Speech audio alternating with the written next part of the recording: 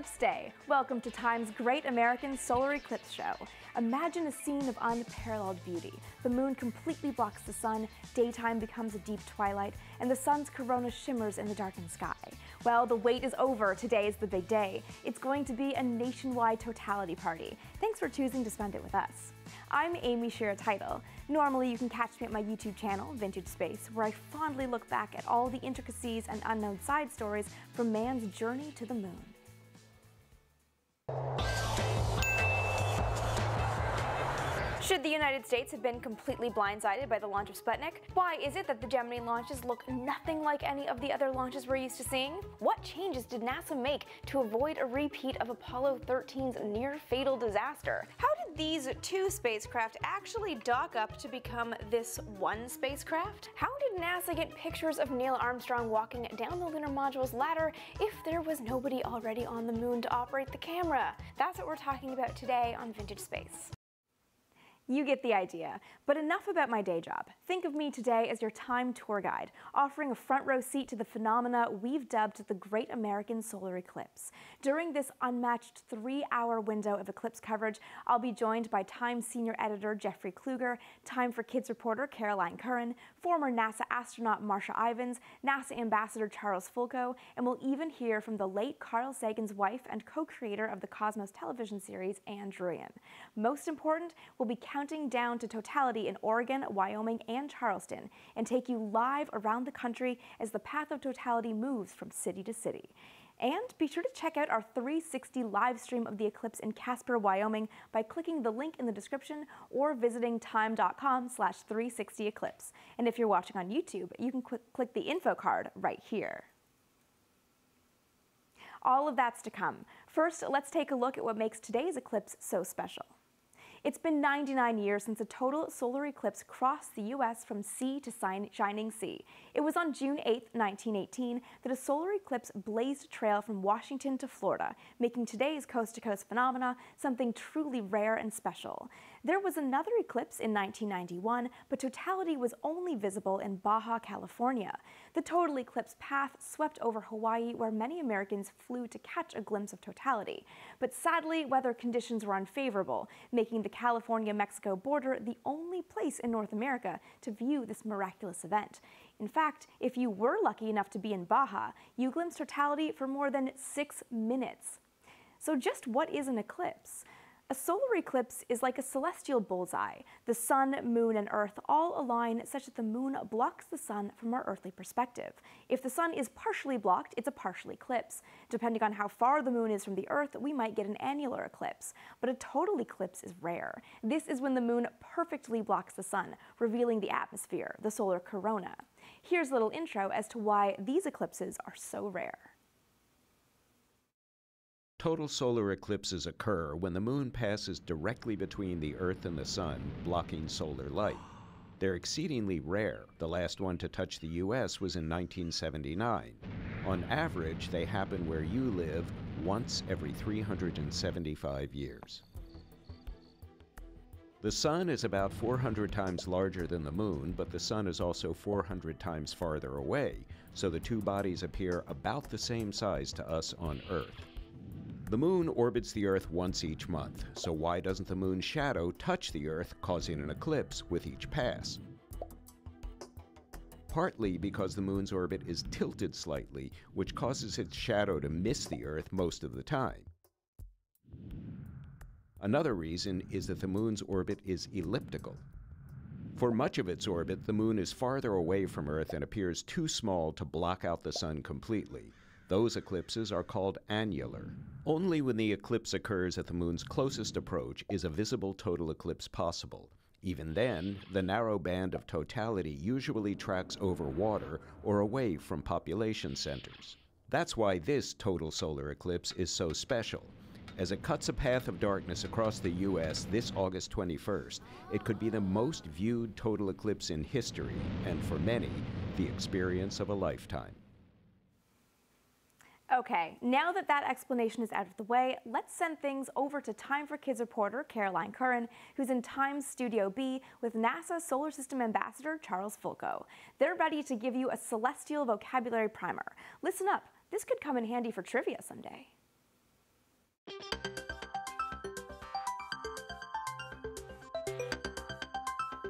Hi, I'm Time for Kids kid reporter Caroline Curran. Today I'm joined by Charles Fulco, NASA's solar eclipse educator. Thank you for joining us today. Thanks so much for having me, Caroline. So we at Time for Kids are calling this the Great American Solar Eclipse. What does the word solar mean? Well, Caroline, solar simply means pertaining to the sun. A solar eclipse means the sun is being covered by the moon for an observer on the earth. So I can demonstrate this by taking the earth and the moon, and you can see that there's a shadow being produced on the earth from the moon. That's a solar eclipse. And the moon produces two types of shadows. It produces a darker inner shadow called the umbra, and that's where you'd want to see totality from. It also produces the much bigger, lighter outer shadow called the penumbra, and that's where most people will see a partial eclipse. Well, lunar eclipse means uh, about the moon. So two weeks after a solar eclipse, the moon travels in its orbit to the other side of the Earth, where it could go into the Earth's shadow. So what do we call the flecks of lights that appear behind the umbra or penumbra? Well, Caroline, as an eclipse becomes total, you get some strange things happening that you only see during a total eclipse, and this is one of them. Come over to the word with me and I'll explain. So the moon tra is traveling about 2,000 miles an hour, and on an eclipse day, it'll start off with a little tiny notch in the sun. Eventually, about 30 minutes into the eclipse, you're gonna have a sun that looks like this. So the moon takes about an hour to cover the sun, so as the moon keeps going over the sun, more and more of it disappears. As the moon begins to slide over the sun and completely cover it, you get what's called Baily's beads. Now the moon's surface, you know, has mountains on it. So the mountains actually jut into the sun's disk and they block part of the sun's thin crescent. And it only lasts for about maybe five or 10 seconds. But the last Baily's bead to remain, that was given the name the diamond ring effect because it's just this one glorious, beautiful piece of light surrounding the darkened new moon as the new moon begins to appear. So within about a span of 30 seconds, you go from a sliver sun to Baily's beads to a diamond ring and finally to totality. And that's when the sun's corona comes into view. The corona is the outer atmosphere of the sun that's only visible during totality. It's actually made of hot gases that surround the sun. Caroline, you've never seen anything so beautiful as a corona at a total eclipse of the sun.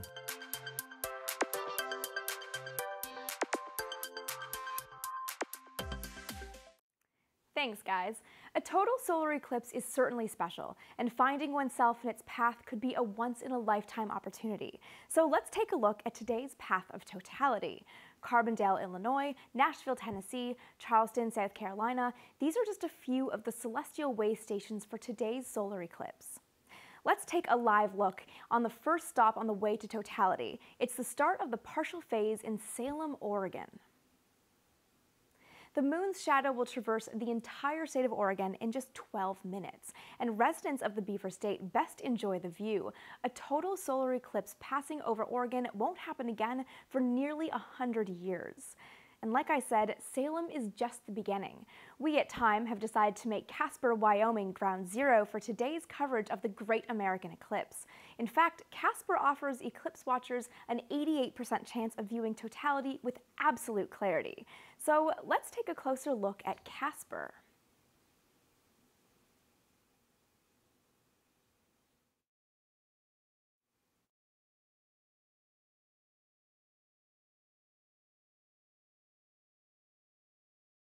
of about 60,000 people and it's mainly known for its oil and coal industry. And the eclipse forecast for anyone out there is partly cloudy, so that makes it pretty good viewing. And fun little strange fact, Wyoming actually only has two escalators in the state, and both of them are in Casper.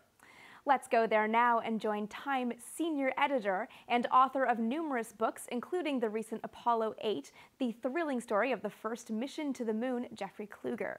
He's our very own Eclipse ground control today. And along with Jeffrey, we've got five-time space shuttle astronaut Marsha Ivins. She's also on the ground there in Casper.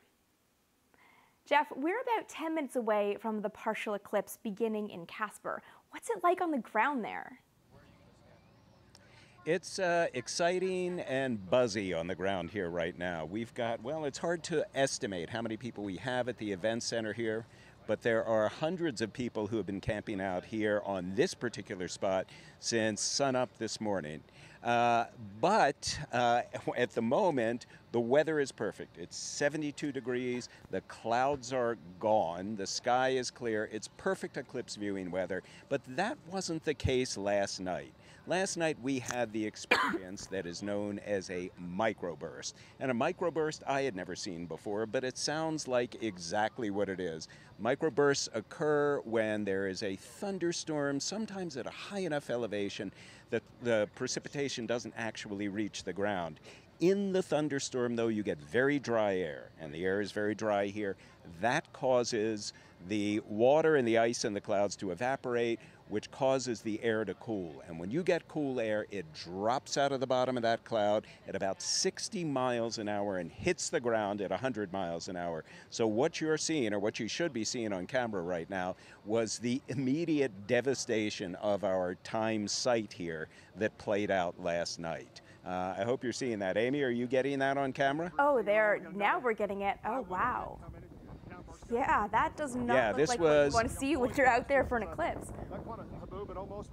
Yeah, the frightened looking guy in white holding up the tents is, uh, that's me. Marsha, you were here to experience that. What was your reaction to it? My first reaction was to grab whatever was flying by me. My second was to to notice and admire the camera guys, being camera guys, who immediately threw their body over the hardware so that nothing was damaged. So so that I didn't have to. It reminded me of the scene in The Martian when Mark Watney's potato crop got destroyed, but at least we had a whole set of food here that we were fine with.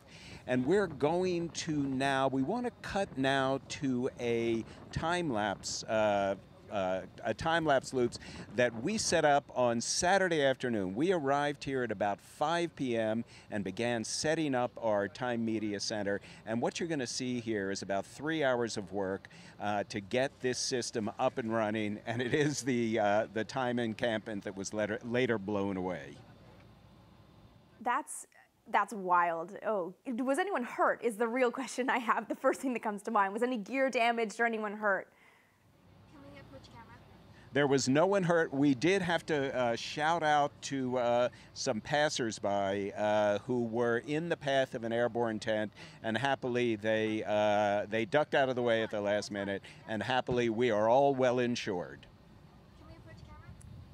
All right. So now that all the scary weather has passed, what's everything like down there? Jeff, you said it was kind of buzzing. Is it? Uh, what's the mood down there? And maybe Marsha. I mean, you've you know gone to space. How like do you feel like there's the similar kind of like excitement around a launch? Like are people that level of just gearing up to see something amazing in space? Marsha, this is, uh, Amy is asking us uh, when we have this kind of anticipation of a big event playing out. This is a little bit like a shuttle launch, although there's no such thing as scrubbing an eclipse. So, how does the tension here, the excitement here, the anticipation here compare to launch morning? Well, I was impressed that when I arrived, I was handed a 20 page checklist that had a very specific, almost minute by minute timeline, which is exactly what happens when you go to space. You know, in the, the beginning of the partial eclipse and the, the full eclipse, it's all minute by minute, which is in fact what the crew on board the station is going to be seeing, you know, as they try to do the same thing and capture the view across the ground. So I felt right at home. And the one thing that is impressive here is that there is no such thing as a, as a scrub. There's no such thing as saying, sorry, we ran out of funding. The eclipse can't happen today. This will happen on time, on schedule. It is the cosmic wheels of the solar system that are controlling today's events. That's yeah, that's a great way to put it, and that's so exciting. Marsha, did you ever see an eclipse from space? Did you ever see an eclipse from space? Amy wants to know. I did not see an eclipse for, from space. There have been astronauts who have seen eclipses from space, and those pictures are available. Um, but just like we have to be in the right place at the right time on the right part of the Earth, um, so does the crew on orbit, whether it's a shuttle or a station, to see the eclipse shadow across the Earth. And that's it's an interesting uh, disparity between an eclipse viewed from space and an eclipse viewed from Earth. Because viewed from Earth, it's a magnificent experience. It's a transformative experience. What's it look like to see an eclipse when you're in space? Well, from looking at the pictures, here on the Earth, we're on the receiving end. Right. And to see it from space, you're almost seeing it from the transmitting end, you know, from the delivery end, because you see the shadow, um, sort of like the the cartoon Uh, reenactments of you know what the eclipse is going to be. You see a dark spot across the Earth and sort of a gray fuzzy part around it, particularly if it's highlighted by clouds. So it's like being behind the camera to watch it. Right. And the eclipse, by the way, will move across the country.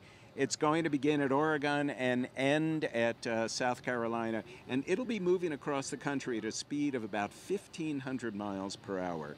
So this is uh, the sun moving across, or the shadow of the moon uh, moving across the United States three times faster than a commercial aircraft carrier comes over. So it is a zippy experience, and it's going to be captured all along the path of totality. Absolutely wild. Well, that's, yeah, an amazing perspective, too, to think about it from space. But let's take another look at that insane footage of your guys' tent being almost destroyed by weather that kind of threatened things last night.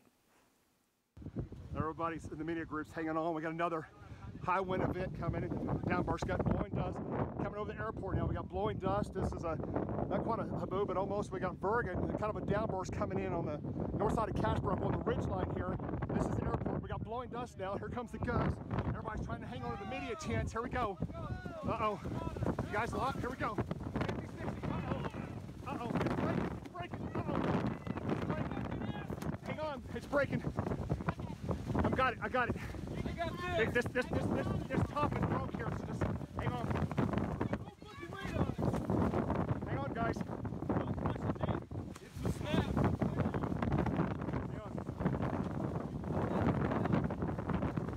Oh God. Wow. Blowing dust across Casper City. We're trying to hang on to the tents here at the immediate camp here at Casper. That is absolutely wild. All right, Jeff, I see now that you are joined with a photographer who is going to tell us a little bit about how you actually photograph an eclipse. I'm dying to hear this.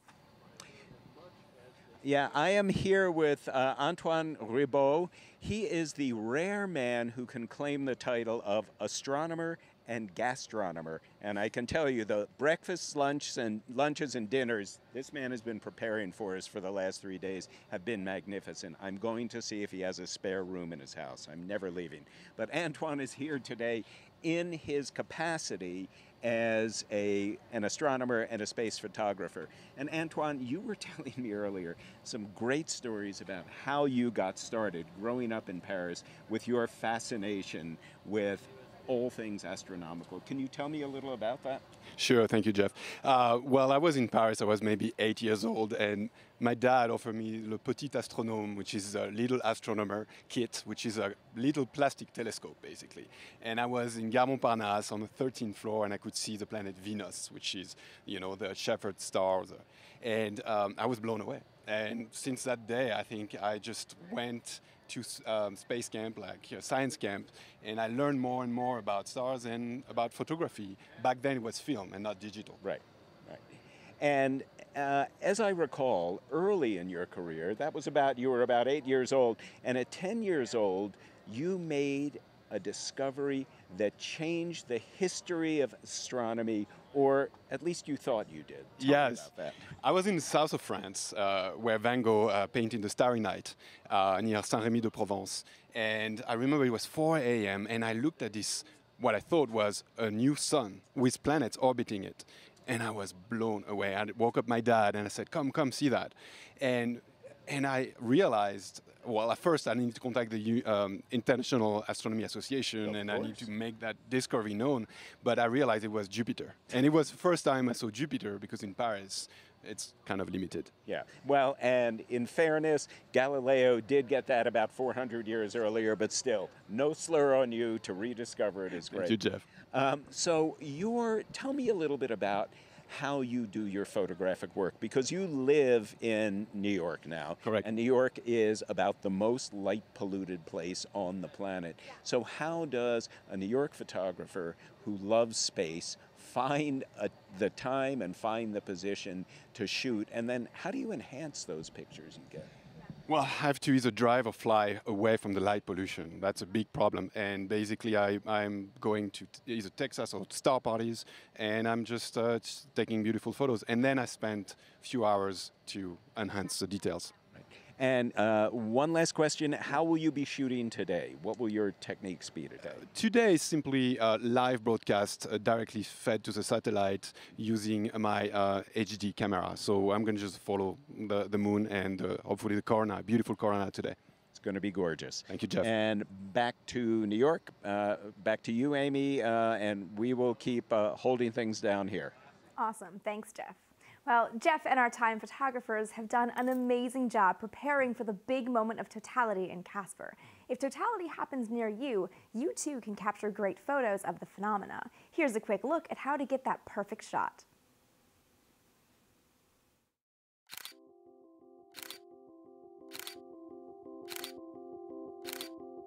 I'm Lisa Eadicicco, a technology correspondent with Time, and I'm here with Ken Sklute, a Canon Explorer of Light, and he's going to share some tips on how to photograph the total solar eclipse that's coming up on August 21st.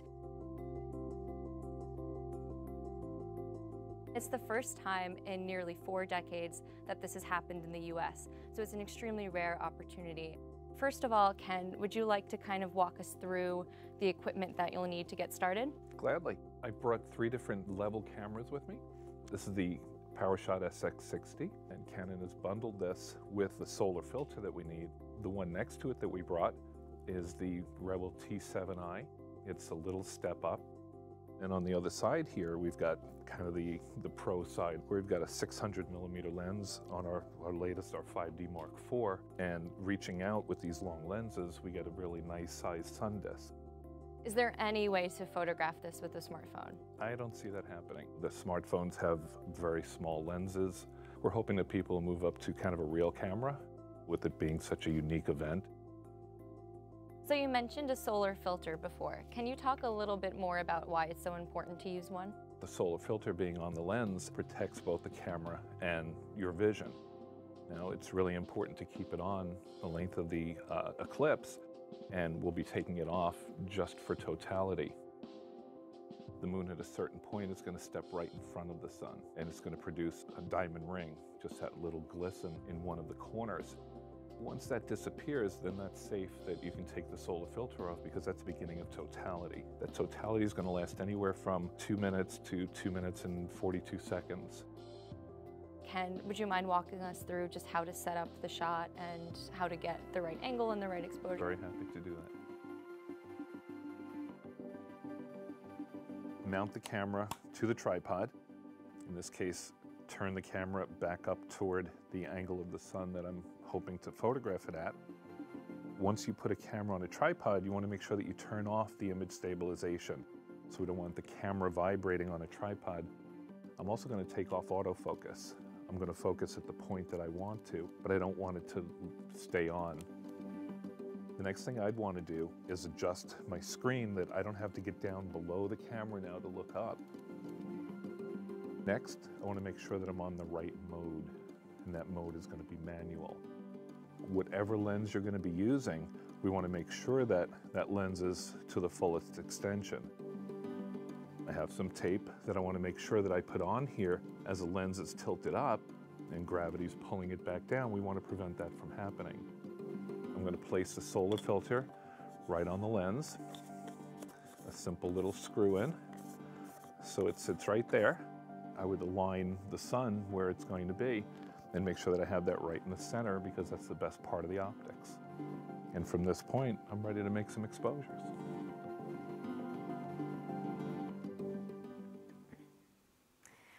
Since I don't get to actually see the eclipse, this is the closest I'm going to get to my own eclipse selfie. So pretend it's fun. Jeff, we all know that you and Marsha are outstanding in your fields, but today you really are um, outstanding in the field. Um, there are a massive number of people out there with you, people who have traveled to get a look at this amazing eclipse. The big one, if you will, the rough estimate of how many sky watchers, how many people have actually descended on Casper to join you and see it live in the field. That's a very good question, and it has a movable answer because the number changes all the time. Uh, Casper begins with a base population of just under 60,000 people, but Marsha has been talking to the event coordinator and has got some numbers about what they're seeing over the last few days. Marsha? They um, they do the recording of how many people come into Casper at the end of the day. So we don't know how many people arrived just today. Yesterday they had 231,000 uh, cars come into Casper, and the day before they had 117. So they have seriously swelled the population here in Casper, but we have seen nothing that hasn't been calm and peaceful and just like a Sunday picnic in your backyard the largest Sunday picnic largest in the Sunday history picnic. of your backyard, however. Um, and we do know that also among people who are here to stay, there have been about 30,000 hotel rooms booked, which uh, doesn't sound like a huge number if you're talking about Mexico City or Paris, but in fact, that's about 50% again the population of Casper. So that's a very big number.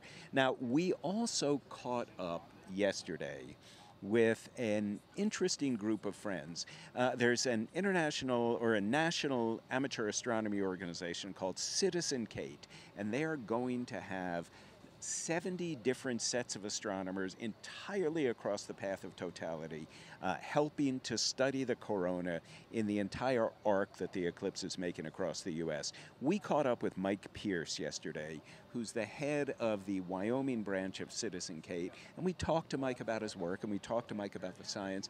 But what touched us most was the fact that Mike was here with a couple of friends, and Mike and his friends have a bit of history with an eclipse. And I think we have uh, some video footage of a conversation we had yesterday that we can run here.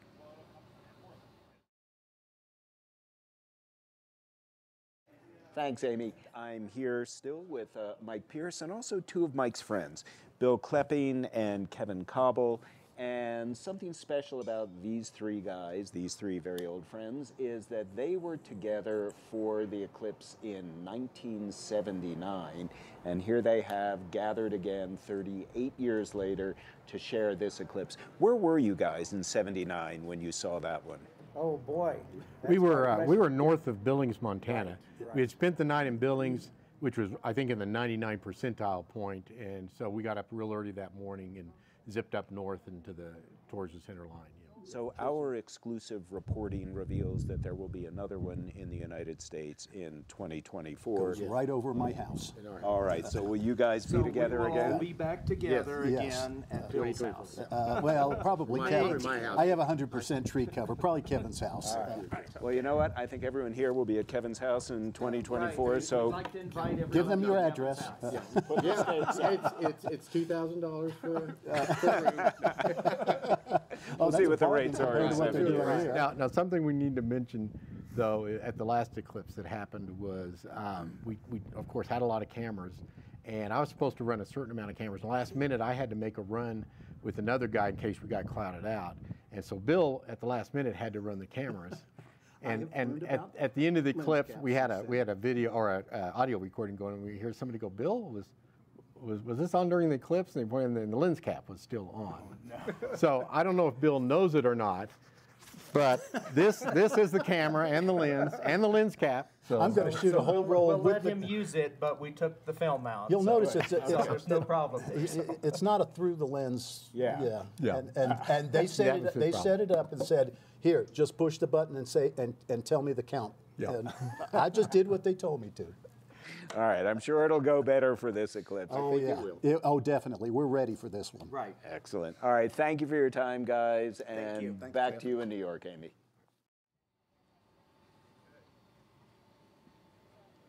All right. Well, Jeff, I hear you've got. Um, I understand that you've caught up with some of the uh, the traveling faithful earlier. I'm sorry, I, I missed that. Some of the uh, some of the what?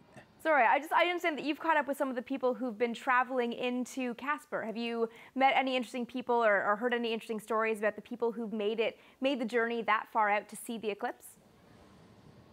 Well, what we've seen, which really impressed us, in downtown Casper, there are two large uh, global maps displayed one of the US, Western Hemisphere, Eastern Hemisphere, and they are filled with thousands of pins. And each pin represents the home state or home country of somebody who has come here for this eclipse. And if you see this map, uh, I've posted it on my social media feed. I think a lot of folks have it up. It is a thickening bristle of pins, which gives you a sense of how many people across the world have come to Casper, Wyoming to share this experience. But what we just showed you about the um, the four fellows who experienced the eclipse uh, in 1979. That's just a little bit of eclipse history. Eclipses have been with us, of course, for millions, billions of years. Uh, uh, human beings uh, experiencing eclipses, of course, is a somewhat newer phenomenon. And I think we have a video package teed up that will give you a sense of how eclipses have been viewed with fear, with wonder, with superstition, and with joy uh, over the last several thousand years. Let's see if we can roll that package. I love you more now than ever.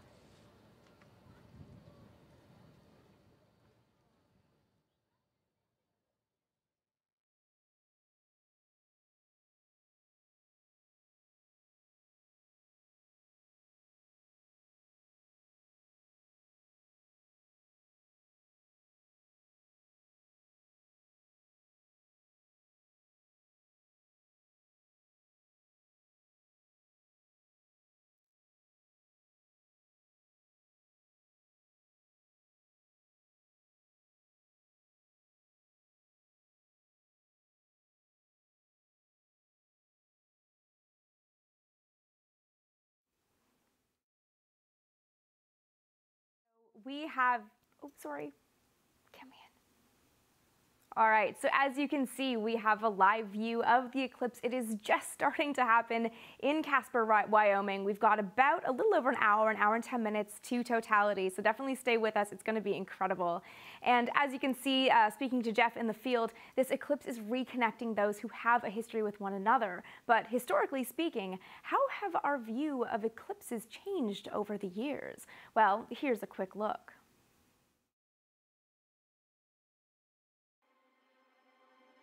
To witness a total solar eclipse is to experience fear, at least a little.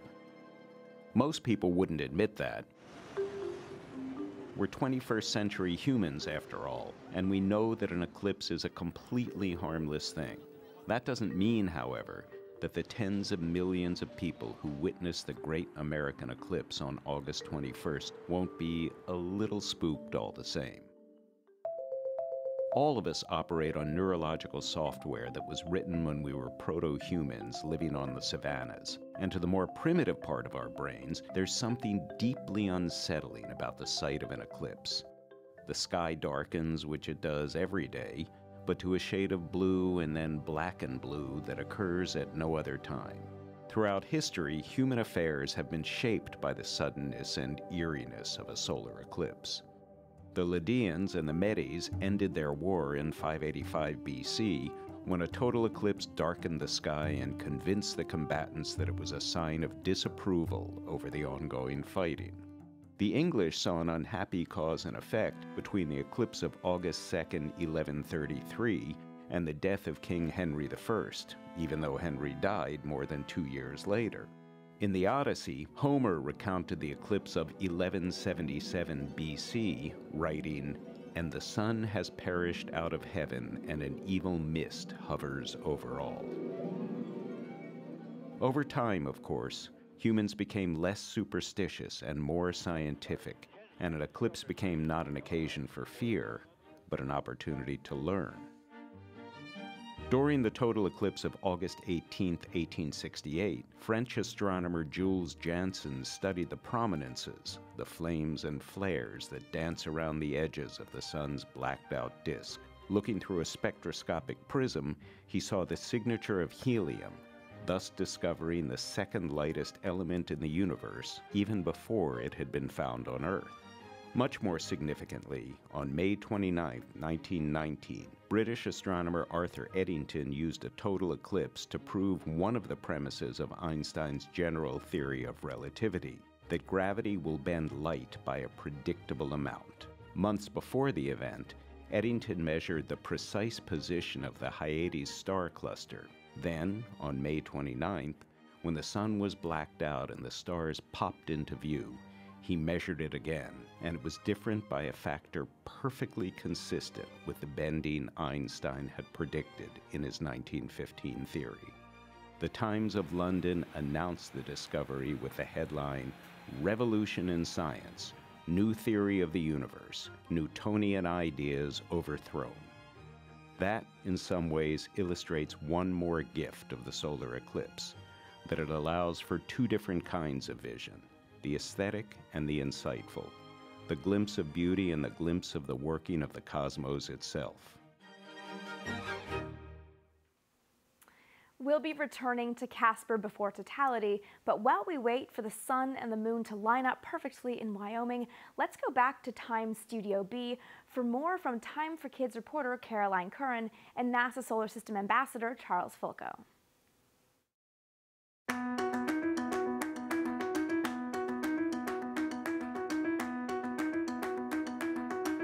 Hi, I'm Time for Kids kid reporter Caroline Curran. Today I'm joined by Charles Fulco, NASA Solar Eclipse educator. Thank you for joining us today. And thanks for having me here, Caroline. So we all know you're not supposed to look directly at the sun even when the moon is in front of it. So how do you enjoy the solar eclipse safely? I'm going to show you and the folks at home how to make a solar viewer out of very simple materials you can either purchase or you probably have around the house. A little bit of foil, a hobby knife, which uh, some kids may want to have their parents help them with, a dry erase or a permanent marker, and this is a tool called an awl, and this is used specifically to make holes in things. A little bit of tape, and of course, your very own safety goggles. You're, so you're going to turn a regular old shipping tube that you could pick up at a postal center into a solar viewer. And what I like about the solar viewer is you don't even look in the direction of the sun, so there's no chance of anyone hurting their eyes. So here's a plain shipping tube. We're going to put a hole in the front of this first. And you don't want to make it a very large hole because the larger the hole, the fuzzier the image. So let's take a hobby knife, put your goggles on. Give it a pop. Good. The rougher your, your edge is, the, the worse the image is going to look. So what we do is we put foil over it to smooth out the image. So take some of the tape. I'm going to put the foil here. Now tape the bottom and then tape the side here and the top. So when you put a hole through the foil, which you're going to do now, you're going to see what a nice smooth round hole you're going to get. Put it straight through and pull it right back out. Good. Now we're going to go cut a window out in the side and the viewing window is going to let you look into the tube to see the image of the sun formed at the rear of the tube. So let's take the knife again and just cut along those dotted lines and make yourself a nice little rectangle there. Now you are all ready to view the sun. If it were a nice sunny day outside, you'd put this over your shoulder and you want to put the front of the tube that lets the light in facing the sun. To make sure it's aimed at the sun without looking at it, you want to watch for the shadow on the ground. So it should look like a perfect triangle on the ground. As you do that, also look inside and you should see a bright white image of the sun suddenly appear at the very end of the tube right here. This is the best and safest way to view a partial eclipse of the sun without hurting your eyes. Well, thank you so much. You're welcome.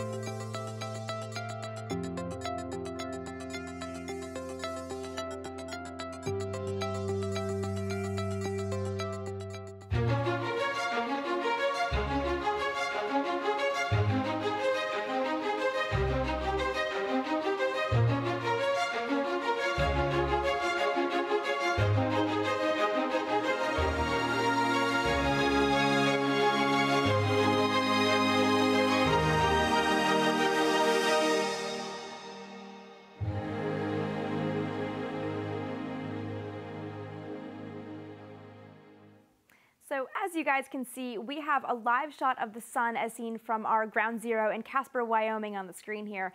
And we're gonna try to show you this view as much as possible so that you can actually see the moon slowly covering the sun. It's such a neat thing to watch happening over time. Even if it moves slowly enough, you sort of don't see it happening, but you'll realize like, oh my gosh, now half the sun is gone. Um, it's super neat. This is also great for those of you who can't make it to a site of totality or have been rained out from watching it. Um, or those who don't have time or didn't have time like I didn't to make a solar viewer. Um, because as we know, viewing a solar eclipse safely is super important. But I think the only thing that might be cooler than watching an eclipse from the Earth would be to actually watch one from space. So here's Jeffrey Kluger with a look at some eclipses you have probably never laid eyes on, because odds are, unless you are an astronaut, you were not in space when they happened.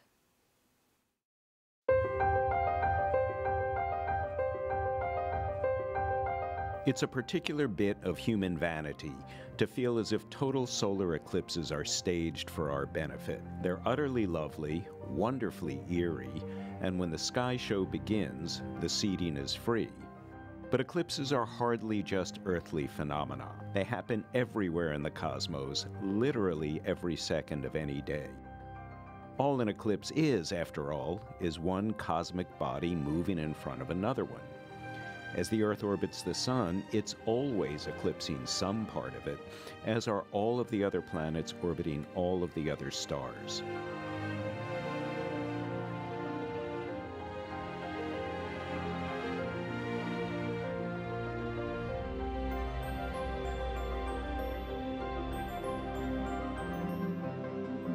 Consider the moment on June 5, 2012, for example, when the planet Venus made a six hour transit across the face of the Sun. Venus is about the same diameter as Earth, but in this image, captured by NASA's Solar Dynamics Observatory, it appears no bigger than a dime. The next time Earth and Venus will be in the right position for us to witness another such eclipse won't come until 2117. Even when the transit ended, the spectacle was not over. The spacecraft kept watching as Venus passed the solar disk and moved in front of the Sun's corona, the blazing veil of plasma that reaches millions of miles into space. The much more familiar solar eclipse, with our moon blocking the light from the Sun, is always observed from the ground. In 2003, the Earth Observatory satellite watched the Antarctic as an eclipse unfolded capturing the shadow it cast on the ice. The long oval-shaped shadow, which measured more than 300 miles, is similar to the ones that are cast in the northern hemisphere during an August dawn. Not all solar eclipses are total. That's partly because the orbit of the moon is elliptical, and when it's farther away from Earth, the lunar disk appears slightly smaller, too small to cover the solar disk fully. These so-called annular eclipses are still too bright to see with the human eye, but the eye of Japan's Hinode satellite is not human, and it captured a dramatic image of a particularly striking annular eclipse. Perhaps the most spectacular eclipse viewing of all occurred in November of 1969, when the Apollo 12 astronauts were on their way back to Earth after landing on the moon. During their homeward coast, they pointed their 16 millimeter camera out the window and captured a first ever image of the Earth eclipsing the Sun. The universe might be insensible to its beauty, but at least one known species isn't.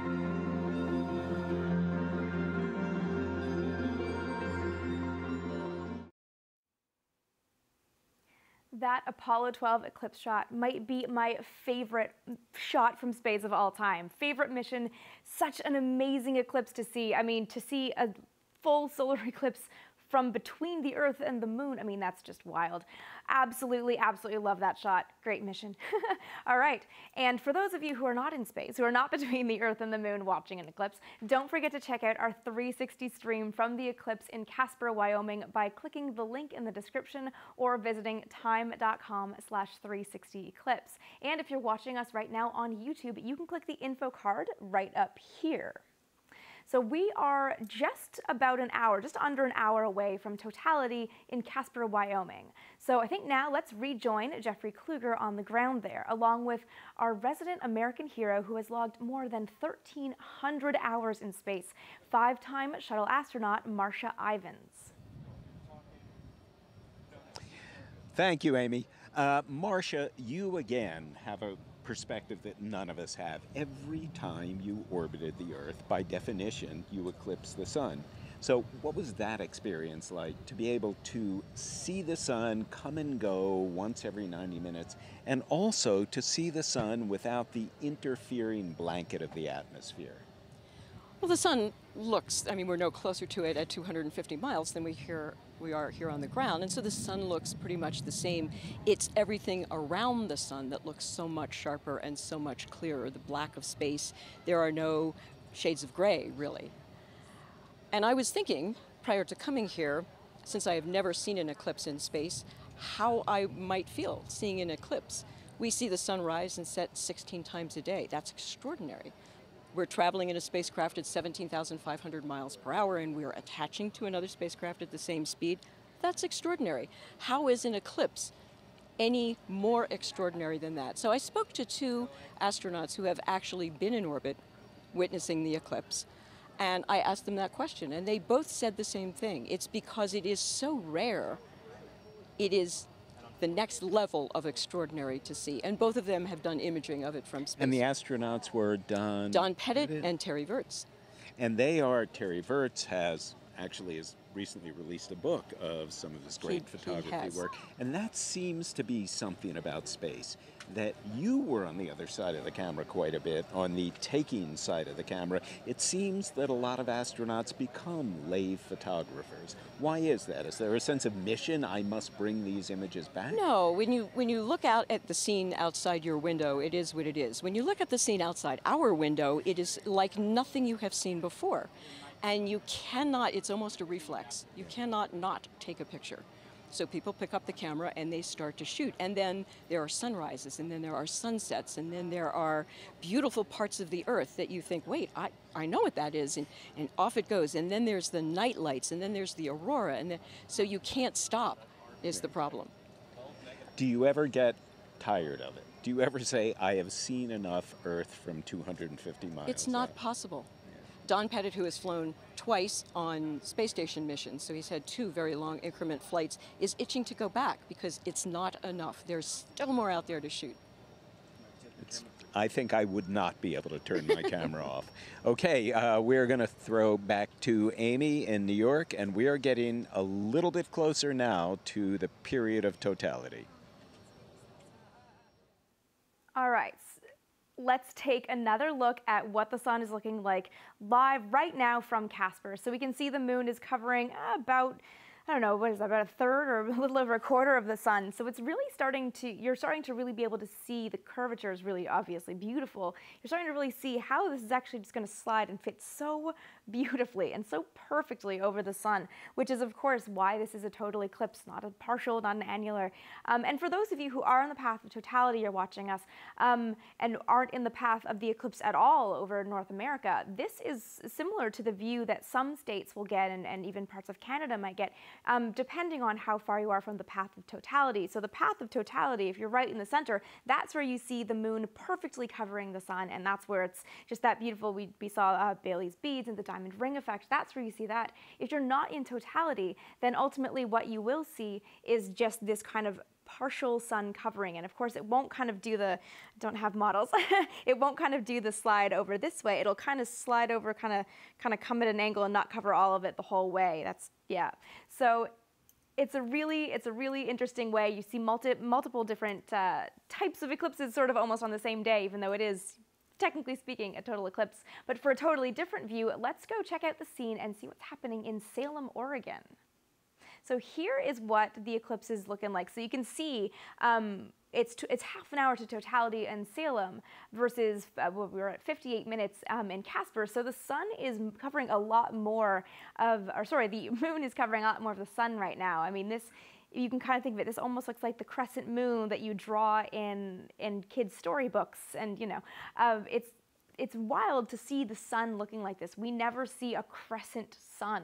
Um, so this is what this is what residents in Salem or people who've traveled to Salem um, are currently seeing. So it's it's getting there. It's moving quite quickly. And if you if you kind of look at that. Um, you know, quarter covered or a little over third covered in um, in Casper, and then look versus at Salem, you can see how fast this, the moon actually moves in just half an hour. This is covering. There's a great comparison of the two of them. That's a half hour or difference. I don't know exactly off the top of my head um, the distance between the two cities, but um, on the in in Casper we've got a little over a little under an hour, and in Salem we've got a little under half an hour. So the residents in Casper are going to be seeing the sun sliding. Or sorry, the, it really looks like the moon to me. They're going to be seeing the sun passing again, the moon passing in front of the sun, and be getting that crescent shape um, in Casper before we actually get totality, before we actually get that full coverage, get that full Baily's beads, the diamond ring effect, and everything, all that beautiful thing. All right, so uh, Jeff, let's go back to Jeff and Marsha in Casper, speaking of Casper, and uh, get a little bit of an update on what's going on there. Jeff, do we have you?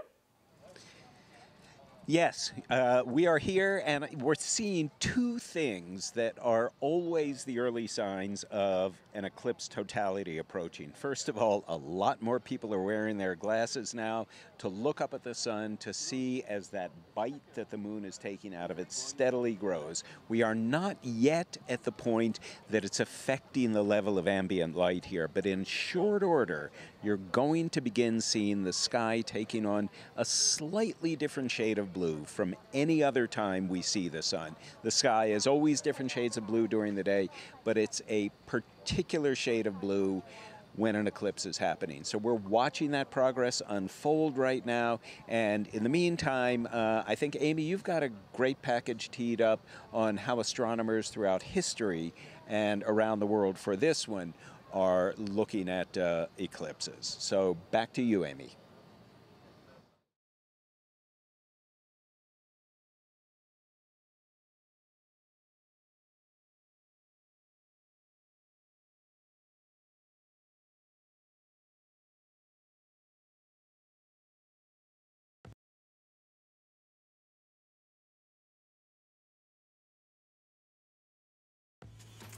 I'm spaceflight historian Amy Shira Teitel, and let me tell you, the upcoming total solar eclipse on August 21st is definitely a once-in-a-lifetime event not to be missed. And if you can't get anywhere to see it in person, why not tune in to Time's live stream coverage?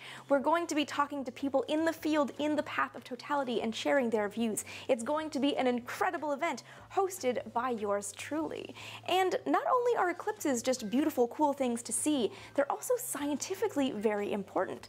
In in fact, almost throughout most of human history, scientists have been using eclipses to study space and really understand the universe that we live in. Eclipses happen all the time. Technically speaking, an eclipse is just when one body in space is obscured by another body crossing in front of it. So they happen all the time, but what's rare is being in the right place at the right time to see it. Like a solar eclipse, the moon passes between the sun and the earth every month. That's what we see as a new moon. But it's rare that the three bodies actually line up so perfectly such that the moon obscures the sun from any given point on earth. Ancient civilizations knew this. They studied the sky the way some of us study our favorite TV programs, and that included eclipses. The earliest recorded sighting of a solar eclipse was by pre-Socratic philosopher Thales of Miletus. He predicted a total solar eclipse would happen sometime during the year 585 BCE, and he was right. It happened on May 28th of that year. Modern astronomers have worked backwards to confirm that yes, a total eclipse did happen where Thales would have seen it on that date. No one is entirely sure how Thales was able to predict that eclipse, but it's possible he had an understanding of two solar cycles that let him understand that it would be happening that year, the Saros cycle and the Exeligmos cycle. Another solar eclipse was seen by Plutarch on March 20th of the year 71. He wrote of the event that even when the moon covers the sun entirely, a kind of light is visible around the rim, which keeps the shadow from being profound and absolute. It's possible that his observations were the first time anyone in recorded history actually saw the solar corona. So ancient astronomers studied eclipses and they knew what was happening. They understood that it was the moon blocking the light of the sun. They had also studied the phases of the moon to understand that the Earth and the moon were both spherical, not flat. And interestingly, all of this still worked within the geocentric universe, the Aristotelian cosmos that had the Earth at the center with all of the planets orbiting around it. When we're talking about eclipses, it's easy to explain it whether the Earth is orbiting the Sun or whether the Sun is orbiting the Earth. It helped, too, that eclipses happen at relatively regular intervals. This all fit within Aristotle's model of the cosmos, wherein everything is perfect and unchanging. Of course, all of that fell apart with Copernicus in 1543, when he published in De Rev that the sun is actually the center of the solar system, not the Earth. In addition to decentering the Earth from our understanding of the cosmos, Copernicus was also a fan of eclipses. Copernicus used a pinhole camera to observe four partial eclipses in 1530, 1536, 1540, and 1541. Tycho Brahe also studied eclipses to try and measure the moon's diameter, as did his apprentice Johannes Kepler. Of course, using pinhole cameras, and even with Kepler's revelation that orbits are actually elliptical and not perfectly circular, their measurements of the moon's diameter were an estimation at best. Eclipse observations got more interesting in the 19th century when astronomers started using telescopes, not unlike those that Galileo Galilei used to discover the moons of Jupiter. They also started using secondary instruments like prisms to study the sun during an eclipse. French astronomer Jules Janssen traveled to India to view a solar eclipse on August 18th of 1868. Using a telescope and a prism, he noticed there was a bright yellow spectral line from right around the sun's corona. The discovery was independently duplicated on October 20th of that year by English astronomer Norman Lockyer. Together with English chemist Edward Frankland, they named the element Helios after the Greek word for the sun. Studying a solar eclipse is how we discovered the element helium. A little more than a decade later, during the 1879 eclipse, another pair of astronomers independently discovered what they thought was a new element called coronium. But it turned out this wasn't a new element at all, but rather exceptionally hot iron in the solar corona.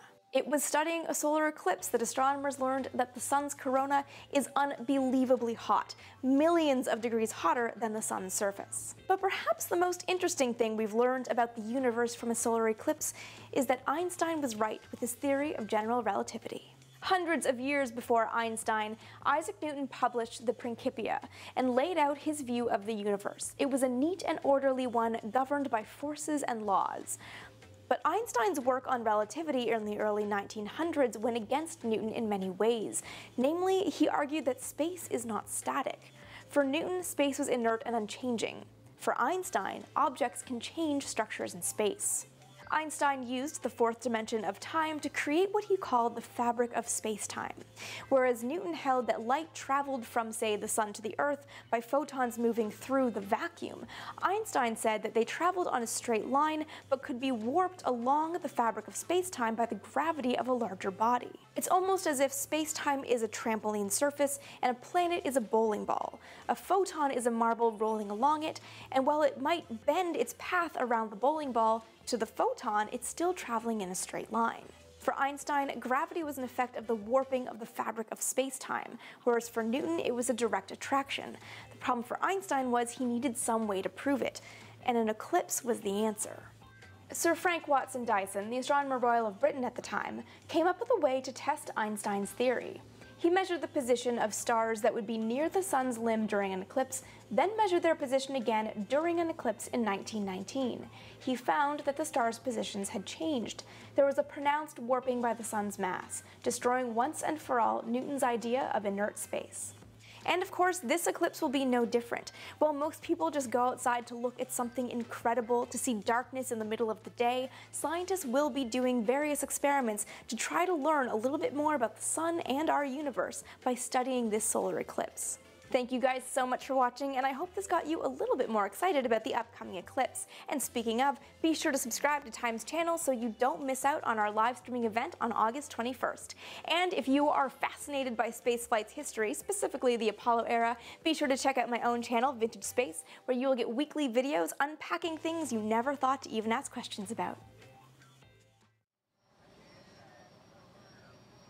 Thank you so much, Amy, for that clip. And if I may be a bit of a fanboy, I've watched it twice already before we broadcast it today. And I think one of the things it shows is that an eclipse operates two ways on our brain. On the one hand, we see it as something primal and powerful and spiritual.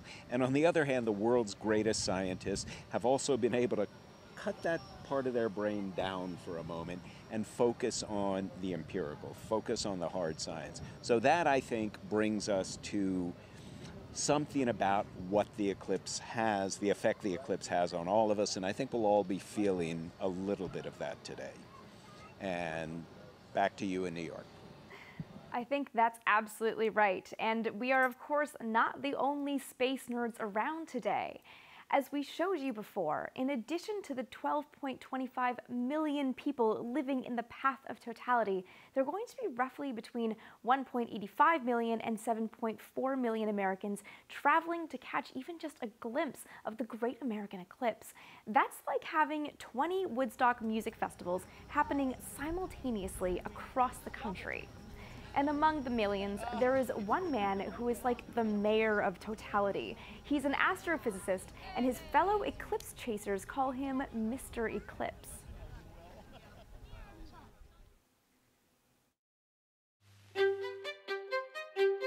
One uh, astronomer described it as a curtain of doom, and suddenly you're immersed in the shadow. When you see a total eclipse, you will realize for the first time what the meaning of awesome is. Baily's beads! Totality! Because an eclipse is awesome.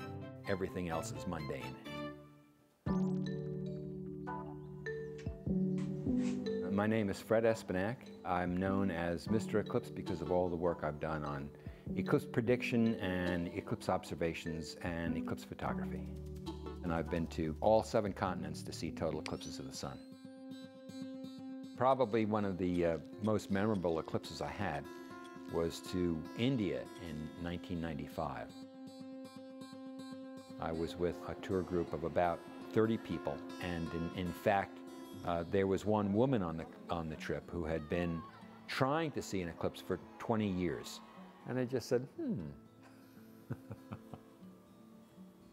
nice hair. you know, I thought, huh, like you did. There's an interesting guy. And, you know, then it just, it just went from there. You thought I was funny. yeah. I prefer Ms. Eclipse to Mrs. Eclipse, but we, we argue about that sometimes. Fred and I have been married for about 10 years, and we've been together about 20 years, so it took him a while, but we finally made it. After I retired, Pat and I moved out to a, a place called Arizona Sky Village. It's a village designed for people who have a love of the night sky. In order to get away from city lights, which plague most of the country, we've had to abandon civilization, so to speak. And I've always wanted to live someplace where I could go out and really see the Milky Way any night. Probably the most stunning thing to see here, even without a telescope, is the Milky Way. And you can see all these features looking out into the Milky Way at night, and especially through photography that can reveal things much fainter than we can see with the naked eye. I think it's wonderful to be married to somebody who has a passion. I do. So many people, I feel, I don't know, they watch too much television or they just spend too much time being a passive observer instead of going out into the world. I think I'm that kind of a person too, but he's made it very easy for me to be that kind of a person. Oh, she. Sometimes I take myself too seriously. And she makes me laugh.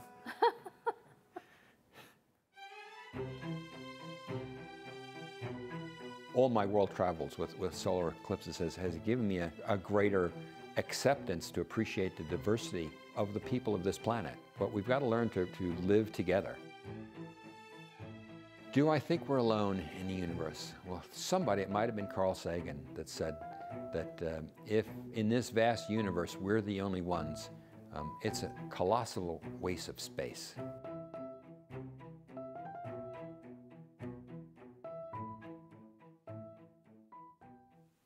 I cannot imagine a cuter couple or a cuter way to find a spouse.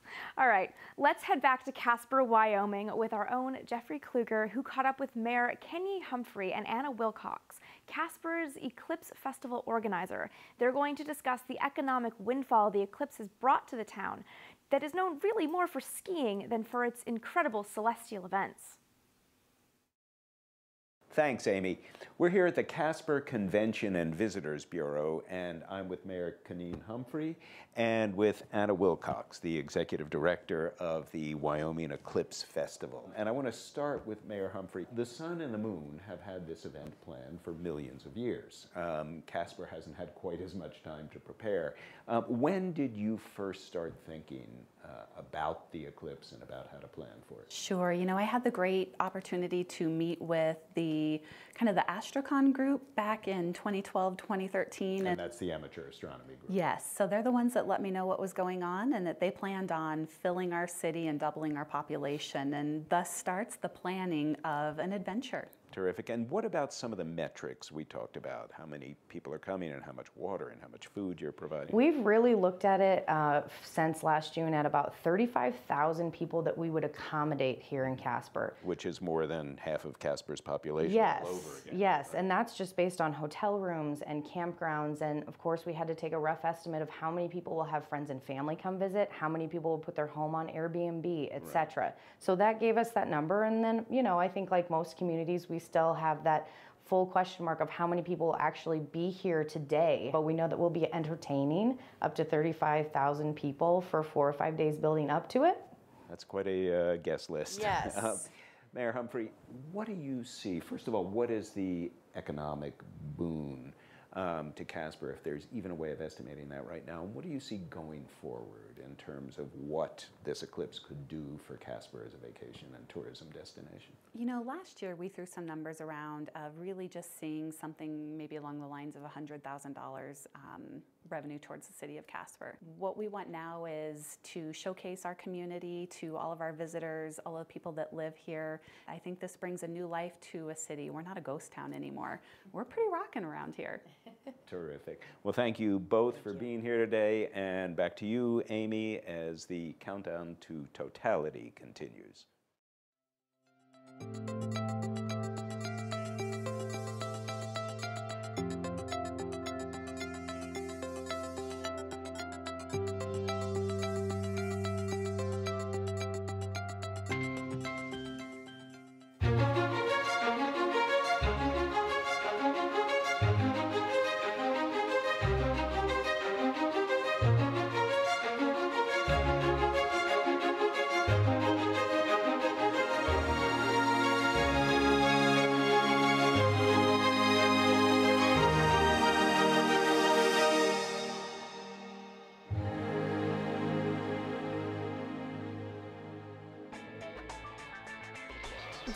Share your photos with us on Twitter at hashtag TimeSolarEclipse. And be sure to check out our 360 stream of the eclipse in Casper, Wyoming by clicking the link in the description or visiting time.com slash 360eclipse. And if you're watching us on YouTube right now, you can click the info card right up here.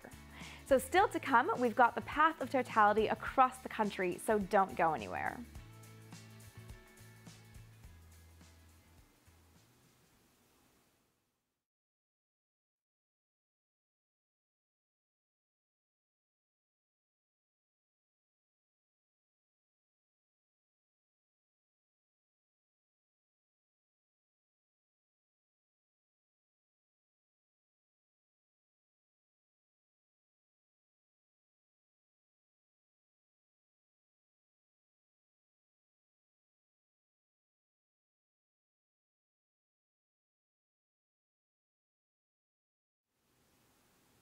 So that's still the live shot from Casper, Wyoming. And still to come, we've got more from Jeffrey and Marsha on the ground in Casper, and also some reflections on space from the late Carl Sagan's wife, Ann Druyan. But now I am thrilled to be joined by Time for Kids reporter Caroline Curran, who has made her way from Studio B over here to join us in Mission Control. Caroline, it is awesome to have you here on set with me. Thank you for having me. So Caroline, our, in our previous segment, Jeffrey Kluger interviewed the mayor of Casper, Wyoming, to discuss how the eclipse is causing a bit of an eco like economic boom in that city. In fact, I actually read that one motel in Casper, Wyoming, is selling rooms for more than $1,400 a night. Do you think your parents would be okay to spend that much money to give you a path, a view of that totality? there definitely is a big economic boom as a result. It's very clear. So I think that's really interesting that there is that as a result of this. And Caroline, I hear that you've um, you've done some research on another way the eclipse is generating profits for savvy entrepreneurs, and that is eclipse memorabilia. I hear you've actually looked up some interesting things that are available online. Can you tell us what kind of memorabilia or kind of things you've been finding that people can buy to commemorate the eclipse? There are so many products out there that are being sold that are related to the solar eclipse. One of which was recently released by the United States Postal Service, and they're actually these stamps that are an image of the solar eclipse. And with the heat of your finger, if you rub the stamp, it will change to an image of the moon. So that's a really great product that you can use to remember the solar eclipse in the form of a stamp, which is really unique. There are also products like um, a lot of books out there related to the solar eclipse. There are ones targeted for both children and adults. So ones that are targeted towards children include, you know, puzzles, games, and there are a lot of books out there that are targeted towards children to use while they're on a road trip to the solar eclipse.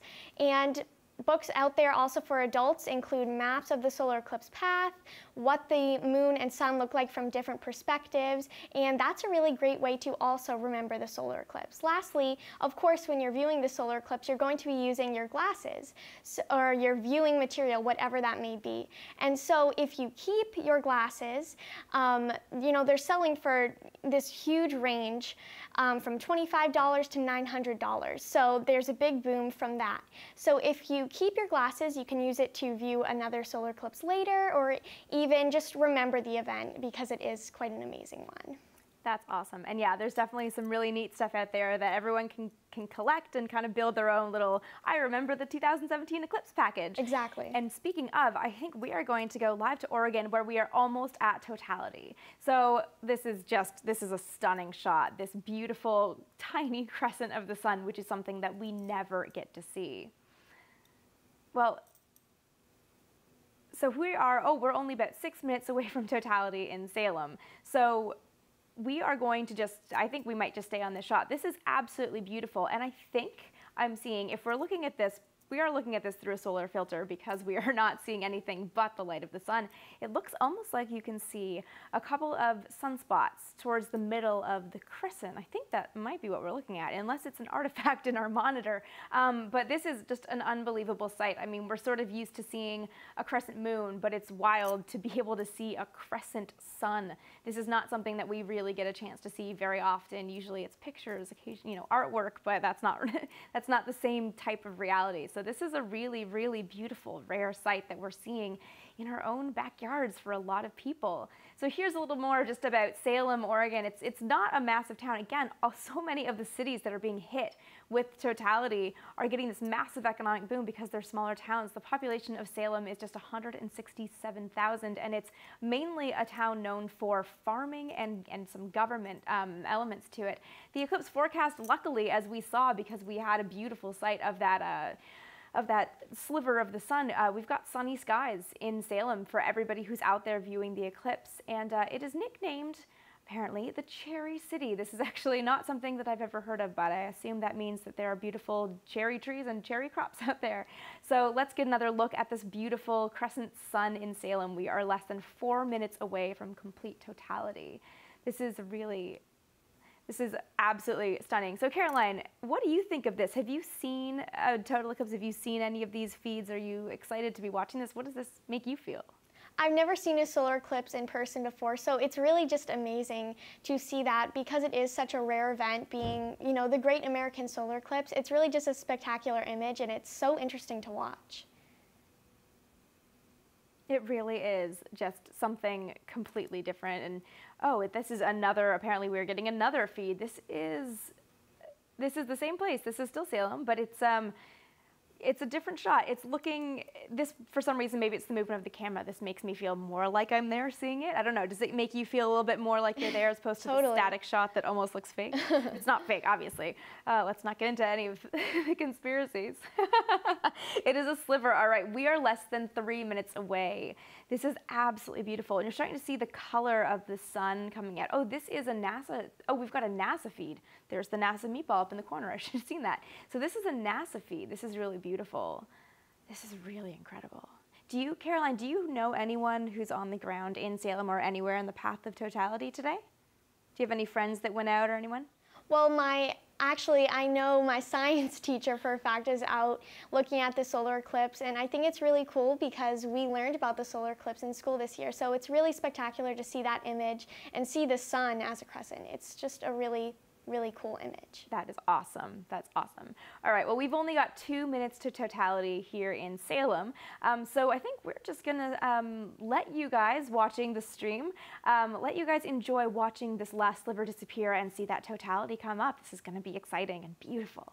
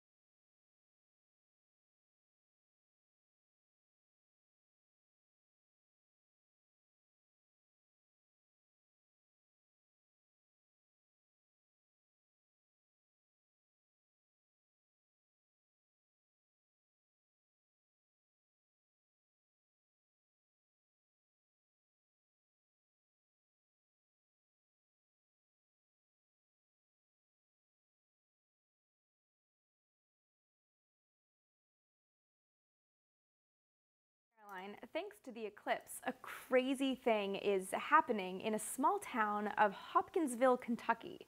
So it's been renamed Eclipseville for today. Hopkinsville will find itself in the path of totality later this afternoon. 62 years to the day, um, residents claimed to have had a close encounter with some little green men. So let's take a look at the story and the speculation that's drawing thousands to the bluegrass state.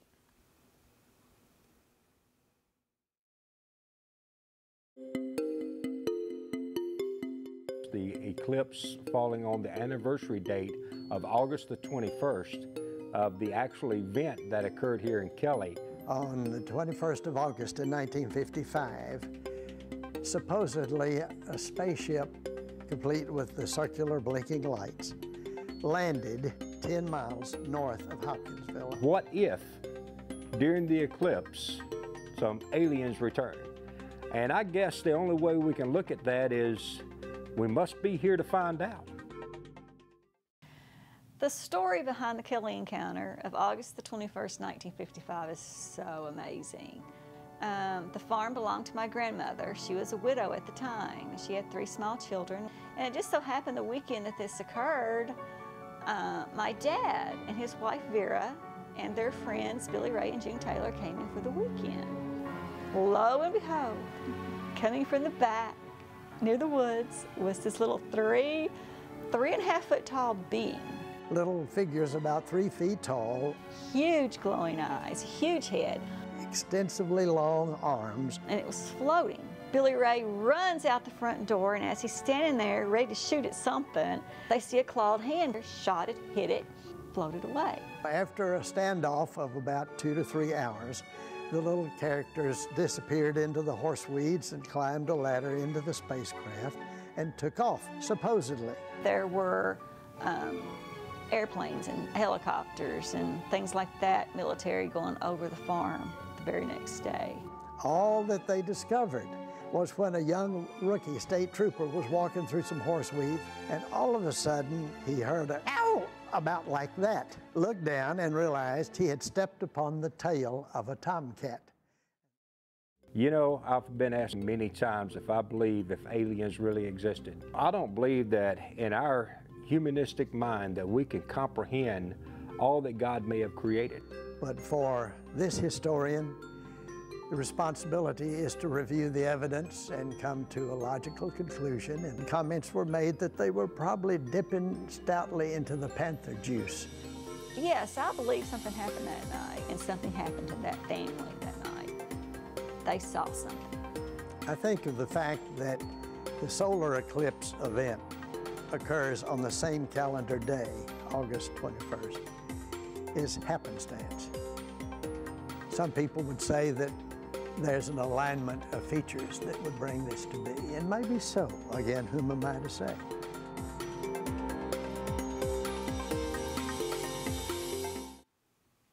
All right, we're going to give a little bit more about the aliens in Hopkinsville in a little bit, but I think we might be going back to see what's going on with the eclipse in Oregon. I think we've just gotten totality, so let's, are we in Oregon?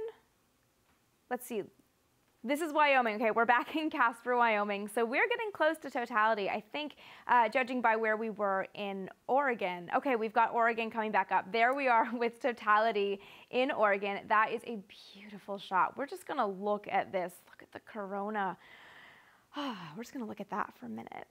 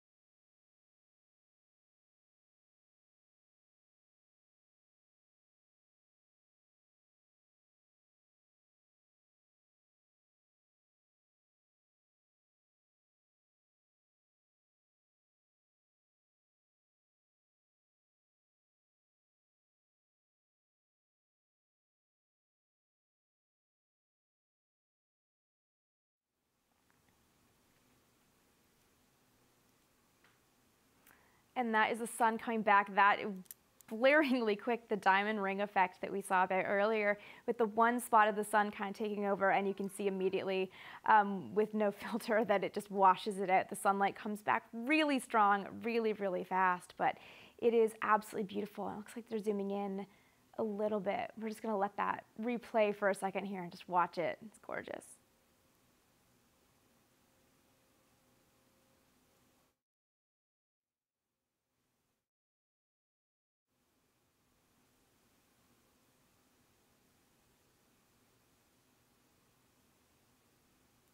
So it looks like NASA's feed is hopping around from different cameras in Oregon because it's of course slightly different timing at different parts of the state. So we're getting, we have the sun emerge on one spot and now it looks like we're gonna get it again from another location. This is gonna be gorgeous.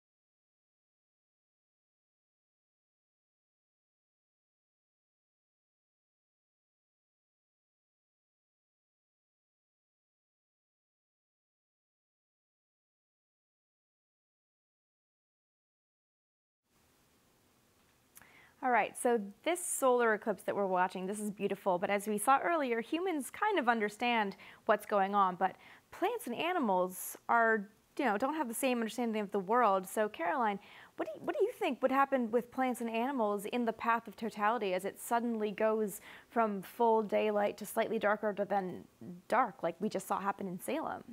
Like you said, these animals and plants clearly can't anticipate a solar eclipse like we do. And so a lot of animals will actually, you know, be convinced it's nighttime, and a lot of them will prepare to go to bed, and some flowers will even close because they all think it's night. I think that's, yeah, that's spot on. Um, so let's take a quick look at something we've, um, we've prepared to look at what really happens to plants and animals during a total solar eclipse.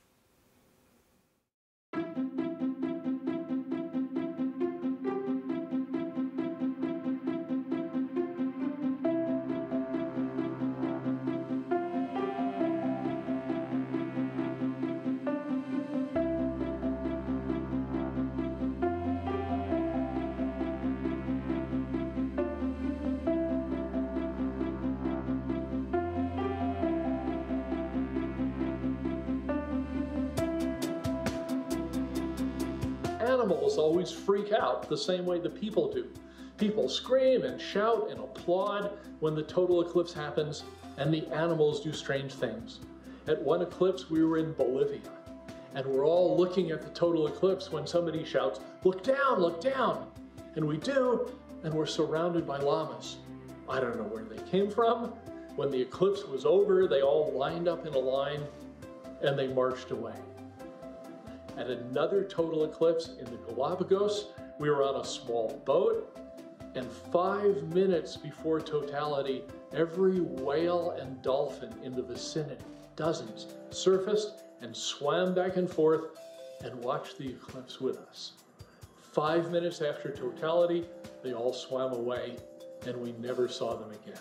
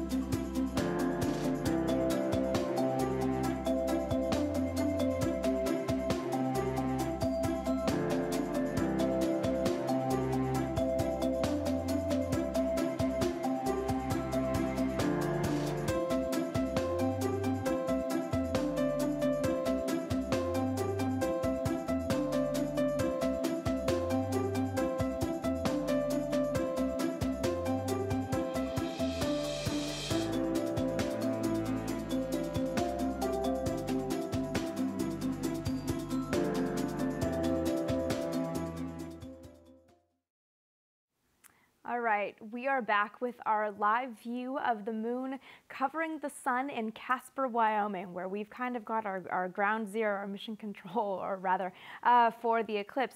So we're at 13 minutes, just past 13 minutes to totality. So uh, what we're seeing here, again, what just like what we saw in Oregon, we've got this beautiful crescent sun, which is something we never see, and it's really getting getting slim in there. I mean, it's been an hour since it was just, you know, eating a tiny bite out of it, making it look like a rounded Pac-Man. and now it's this tiny little sliver and we're really gonna see it disappear in a second here and it's just absolutely stunning. So I think we're gonna, we're gonna stay on this. We're gonna stay on watching the moon slowly cover the sun and just watch this kind of, I mean, slow burn, even though it's covering up the burn of the sun as we get to totality and really kind of capture the excitement there. So let's just, uh, let's just take a look.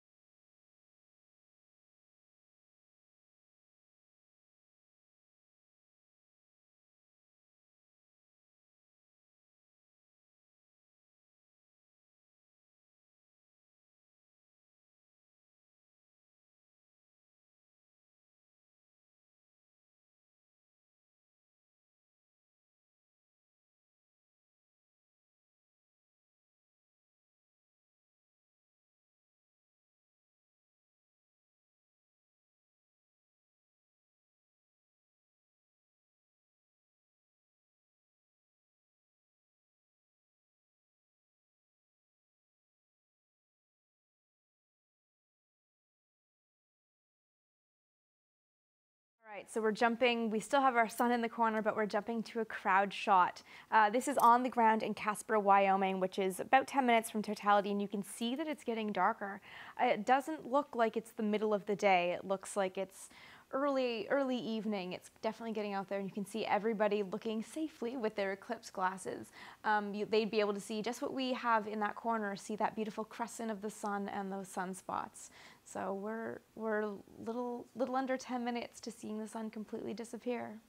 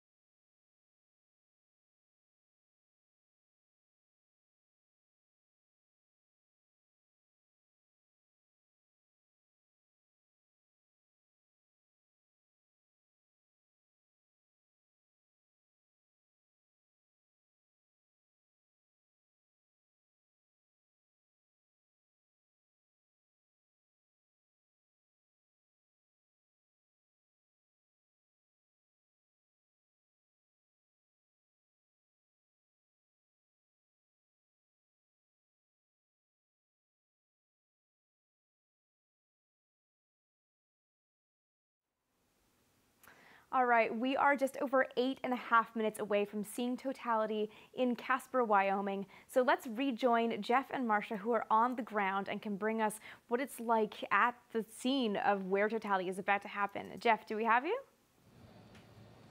Yes, you do. We are here. It is a certain wonderful kind of eerie here. There's a wind that's whipped up that hadn't been here before as a result of the cooling temperatures in the air.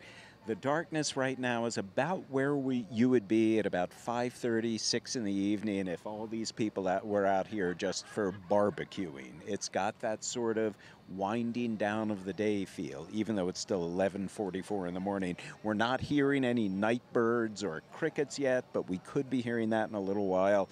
And what we're seeing now is simply the disappearance, the dying of the light in the middle of the day. It's, it's quite primal, it's quite powerful. Marsha, you're a woman of science, you're a woman of technology. Are you feeling any emotion, any surge coming up?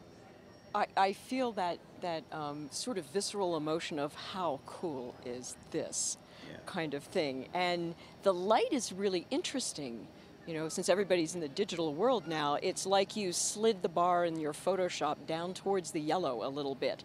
It doesn't quite look like Twilight. There's more of a yellow quality to it, um, and and such a noticeable drop in temperature. I mean, it's it's impressive. Yeah, and there is also a very noticeable drop in the volume of conversation. There was there were a lot of people cheering and talking and conversing loudly, and now there's almost a slowly church-like reverence to the atmosphere here. People are waiting for something magnificent and something celestially picturesque to happen. And it's nice to be a part of it. So back to you, Amy, in New York.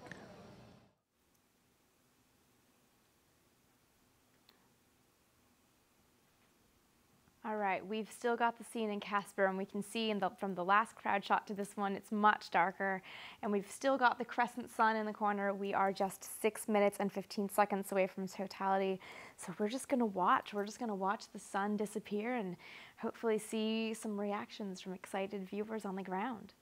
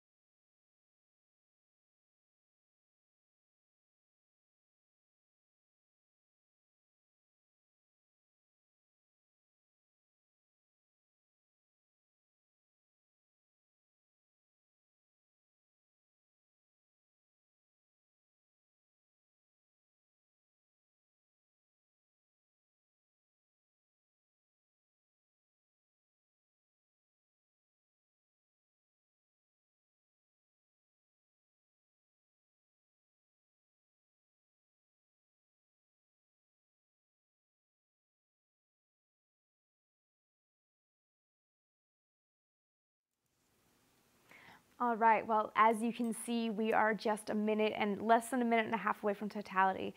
We've just got a few seconds of the last sliver of the sun before we're going to see something truly spectacular out of Casper, Wyoming.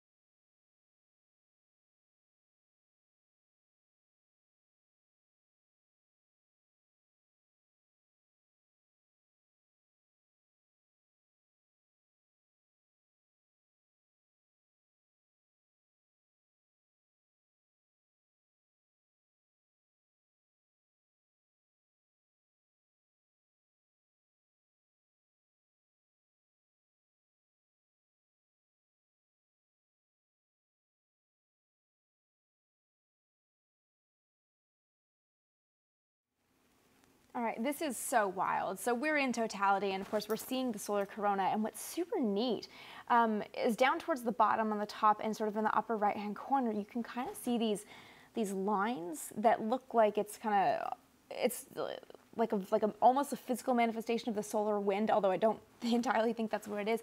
But there's one over this kind of pinkish spot in the upper right-hand corner that looks like it's arced.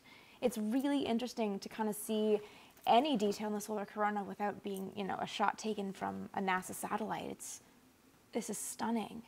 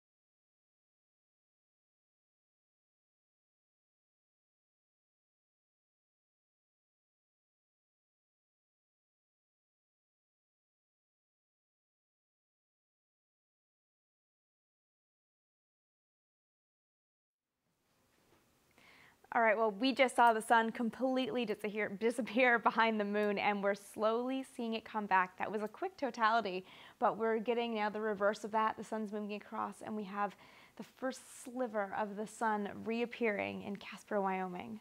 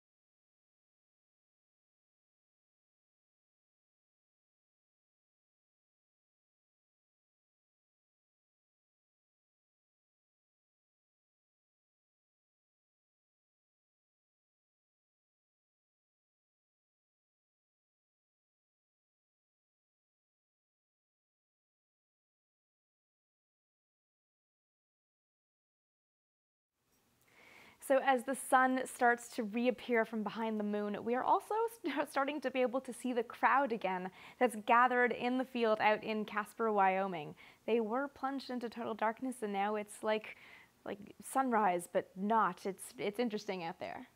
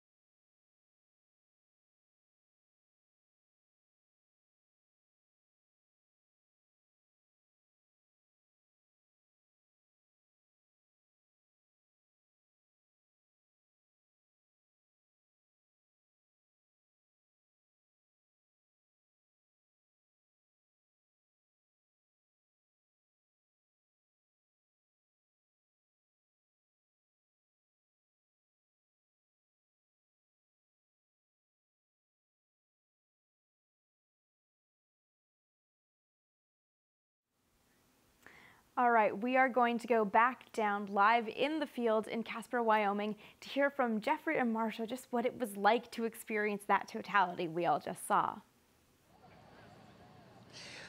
I will have to say, having seen only one eclipse before, this one left me as drained as the other one did. It is a deeply emotional experience. When totality hit, there was applause, there was cheering, there were gasps, and then there was sort of a universally agreed upon silence while people would simply watch what was happening.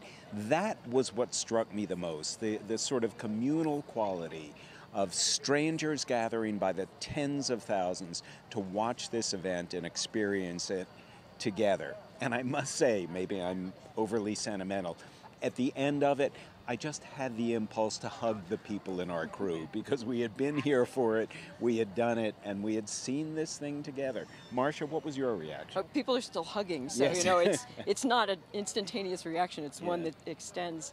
You know, I'd watched um, videos of people watching eclipses, and I'd, I heard them clap and cheer, and I thought, why are you clapping? And yet, it's almost an uh, an urge you can't resist to clap and cheer. Yay, moon! Good job. Yeah, I don't know. exactly. But it's such an unusual event. You know, you can see how ancient civilizations could have thought that this was truly the end of days. Right, of course. The dragon was Yeah, really, really. eating the sun. And of course, as I think we said earlier, one of the things that makes the eclipse work at all and makes the fit so perfect is that the moon is 400 times larger than the sun, or the sun is 400 times larger than the moon, but the sun is also 400 times farther away. And as a result, the disks fit perfectly, which makes the eclipse possible. And that's one other thing that makes you appreciate the improbability of the eclipse. That if it weren't for that wonderful bit of cosmic serendipity, we wouldn't be here today. We wouldn't be feeling the way we're feeling right now. And tens of millions of people would not have gathered on the path of totality. And all of the people who still have this to come east of us wouldn't have this wonderful thing in their future. So we're all sort of recovering here. We're all sort of catching our breath. And while we do that, we'll throw back to you in New York, Amy.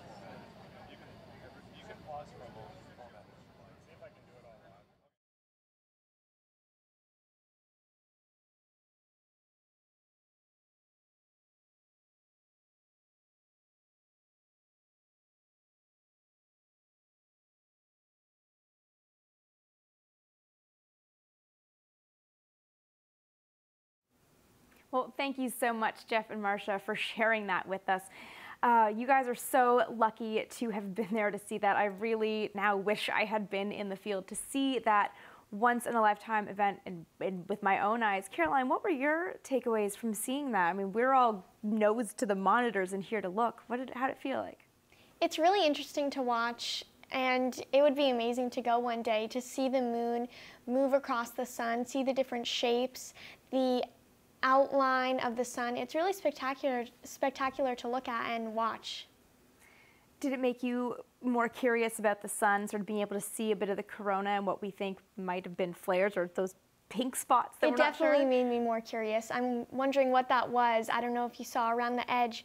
We were speculating that there might have been flares around the sun. It was really a beautiful image and it was so, so wonderful to watch. Yeah, I think it's almost impossible to look at something like that without a sense of childlike wonder. I mean, it makes everyone kind of in awe of where we live in in space. So speaking of, let's go back to Time Studio B with NASA Solar System Ambassador Charles Fulco, who is ready to unpack eclipse magic with a group of third and fourth graders.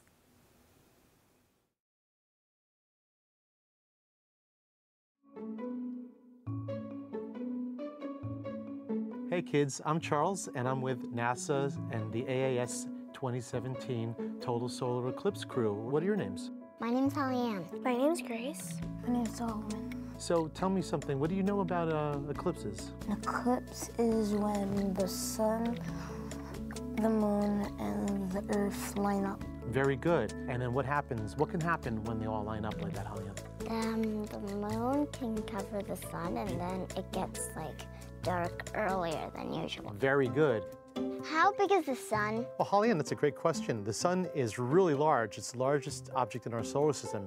But to be specific, it's about 864,000 miles in diameter. So from one end of its equator to the other. So what size is the moon? And the moon, that's another good question. The moon's a lot smaller. It's about 2,000 miles across. But if they're different sizes, how do they line up? That's an excellent question. The sun is a 400 times larger than the moon, but the moon's 400 times closer to us than the sun is. So because the moon is 400 times closer to us, it appears that much larger. So in reality, in the sky, they appear to be just about the same size. So let's, let's do that using our thumbs. We're gonna pretend that our eye is the earth, we're gonna pretend our thumb is the moon, and we're gonna pretend that that light is the sun. So pick your favorite thumb. All right, pick your favorite eye, keep it open, close your other one. Now, which is bigger, the light or your thumb? The light. By a lot, right? I would say so. Okay, so now let's put the thumb up, keep that eye closed, and bring your thumb in until your thumb grows larger and larger and larger until it just covers the light. And that is making your total eclipse. So that's how a total eclipse could happen when you have two objects that are nowhere near the same size. That was a lot larger than this, right? But yet you can make this appear to be the same size as that. That's how, it, that's how totality works. Look what you have in front of you. Handy dandy eclipse glasses. And these are very easy to use. And can we show everybody how to, how to make them into glasses? So, Okay, what are you doing? You're folding them on the, on the hinge? yeah, Good. this. You put them on just like you'd put on a regular pair of glasses. So let's, let's demonstrate that. And Holly, you're probably gonna have to hold on to yours. So what do you think? Are they fashionable? Not even close. okay, now do you see anything through them right now? no. Okay, that's a good sign because that means they're working. The only thing you should be able to see through them is the sun on a sunny day. When you're looking at the eclipse with these, you want to make sure you always have these on. The only time you take them off would be during totality when the moon is completely covering the sun. Who knows what this is? A colander? A colander, very good. So what you do is you take, in fact, why don't, Grace, you want to try this and demonstrate it? Okay, let's pretend I'll be over here with the sun. Okay, pretending this is the sun. Aim it right at the sun and keep it close to the ground like you're doing. And what do you think is going to appear on the ground? Like crescents, probably? Yes! You're going to see little solar eclipse crescents on the ground. So one more way that's free and safe and not looking at the sun is using your hands. Uh, Holly Ann, you want to show me how you think you could use your fingers to look at an eclipse? Yes. What do you show me? What do you think? Oh, okay, so you got three fingers up on one hand. Whoa, hold on. Three fingers up on one hand, three on the other. And then what do you do? You cross them. cross them. over. And you put your hand over the ground, and what do you know? You've got a free eclipse viewer using your very own fingers. That's really cool. Did everybody have a great time today? Yes. Good. Well, I want you all to go outside and enjoy the eclipse. Can you do that? Yes. Awesome. Thanks, everybody.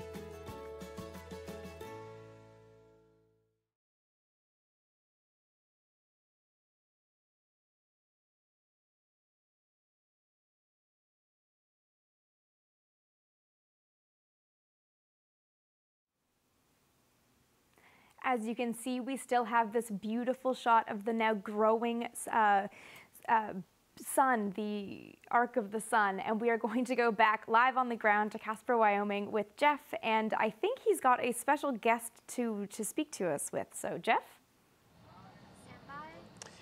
Uh, that is right, Amy, a very special guest. I'm here with uh, Air Force, retired Air Force General Kevin Chilton, who also happens to be a three time veteran of the shuttle. So I am very humbled today because between Marsha and Kevin, these two people have now been in space collectively eight times more than I ever have. so, uh, General Chilton uh, has been up three times, commanded one flight to uh, the Mir space station. Um, many years ago. And we were speaking earlier about the idea that in your job as a military man, as a pilot, as a commander, you have to have a very sort of geometric turn of mind, a very literal scientific turn of mind. How did that serve today, or did the emotional part of you simply take over and shut that down? Uh, Jeff, I'd say it all went out the window Yeah. at, totality. Uh, I mean, we understand this now. It's totally predictable. The science is well understood. But uh, it's it's hard to put words to describe what it's like at the instant of totality. I mean, the temperature drops. Um, what stunned me was everybody cheered, and then everybody got very quiet, and you couldn't hear anything. All the city lights below us came on, and and besides looking at the corona, which is something I really wanted to see, I took the time to just do a 360 scan around, and it was sunset everywhere you looked, know, every quadrant around you, sunset or sunrise. Right. You know that the sky was that color. And then my wife, who's with me, and my youngest daughter, that was special to be with them. One of them said, "Look, there's a star, and probably a planet." Yeah. But to see that in daytime, um, you, you throw the math and the science out the window, and you just take it all in. It was fantastic. It's extraordinary. How do you think this affects people if I am you have a young daughter here. I have two young daughters. There are children all over America watching today.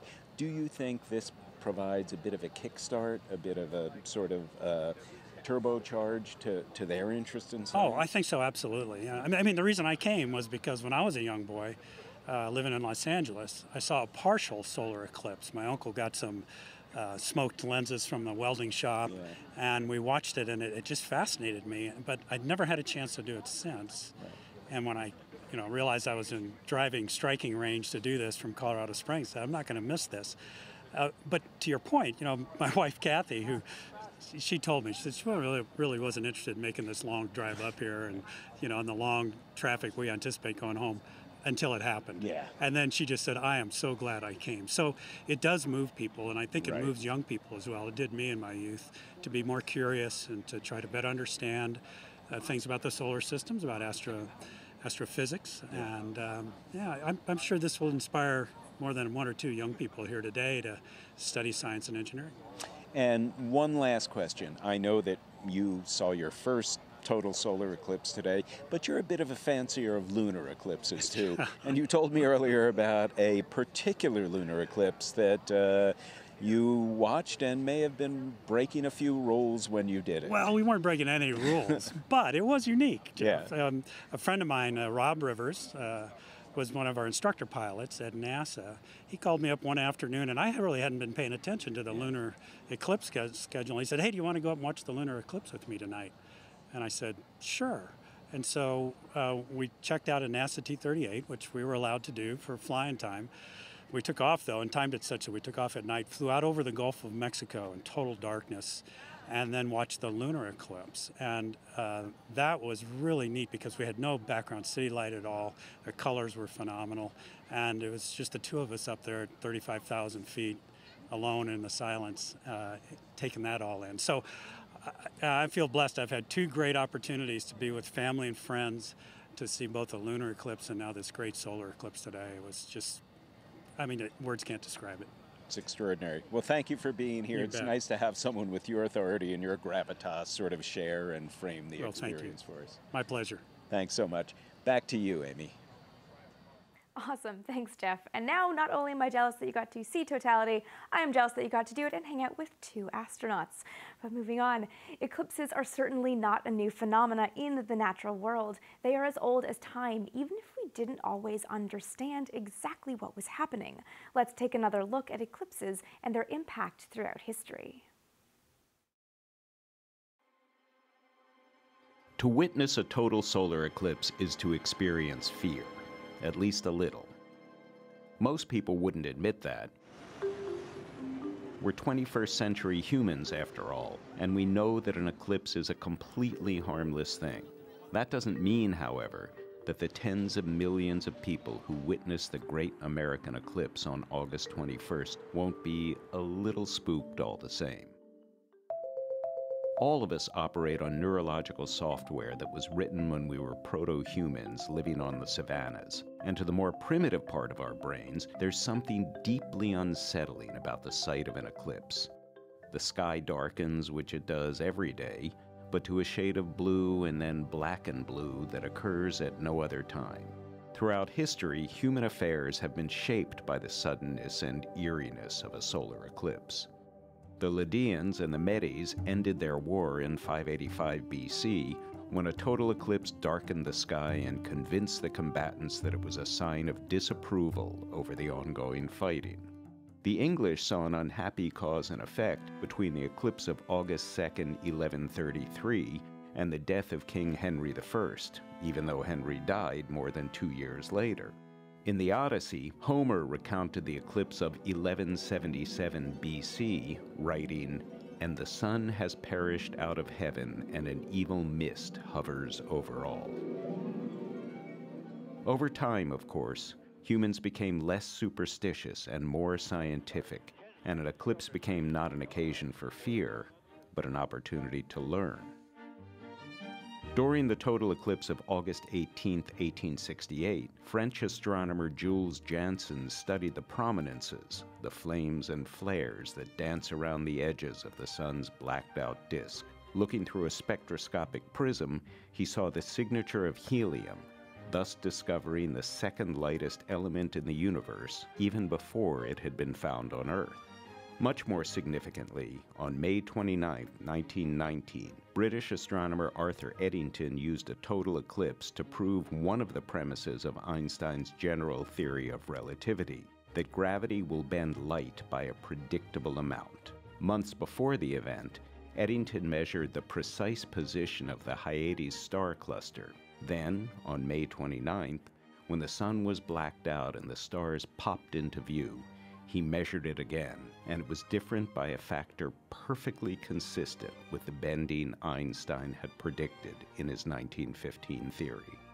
The Times of London announced the discovery with the headline Revolution in Science New Theory of the Universe Newtonian Ideas Overthrown. That, in some ways, illustrates one more gift of the solar eclipse that it allows for two different kinds of vision the aesthetic and the insightful, the glimpse of beauty and the glimpse of the working of the cosmos itself.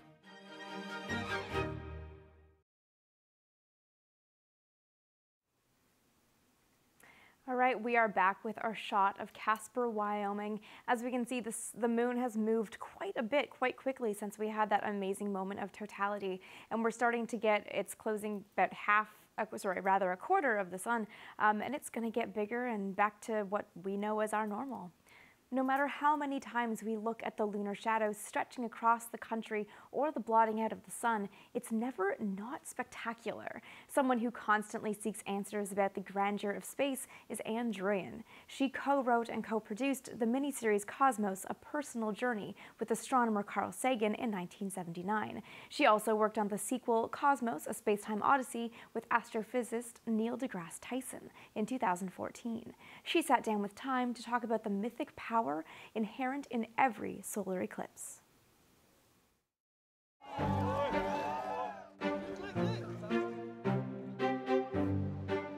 That sudden chill, the motion of the birds, the way that the rest of life reacts to the blocking out of the sun is almost, you know, it has that kind of mythic, biblical power to it, and it should have it.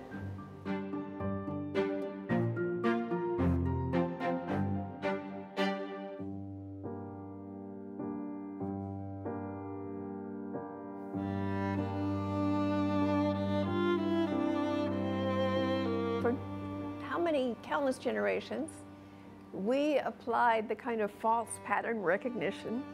So, you know, there's a darkness at noon. Oh my God, that means that the king is not in favor, or gods are angry, or we have committed some terrible sin by sleeping with the wrong person, or eating the wrong food on the wrong day, things like that. But it's also the beginning of science and the beginning of figuring out the universe.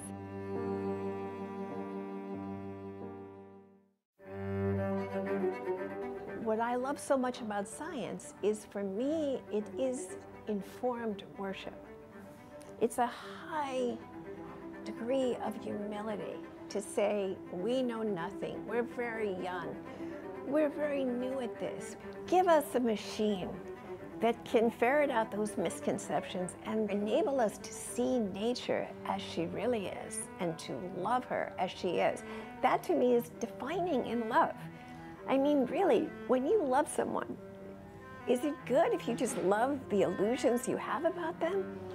Or is it really a deeper love to want to know them as they truly are, to love them so much that you will not turn away and flinch at reality?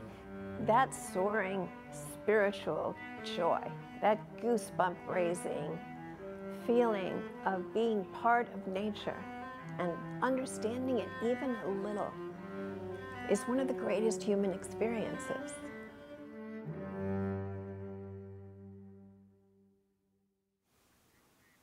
We are back on this beautiful shot of the growing sun in Casper, Wyoming, and we're going to go back to the ground now where I hear Jeff has found a mother and daughter who've come out to witness the eclipse in person today. So let's go to Jeff.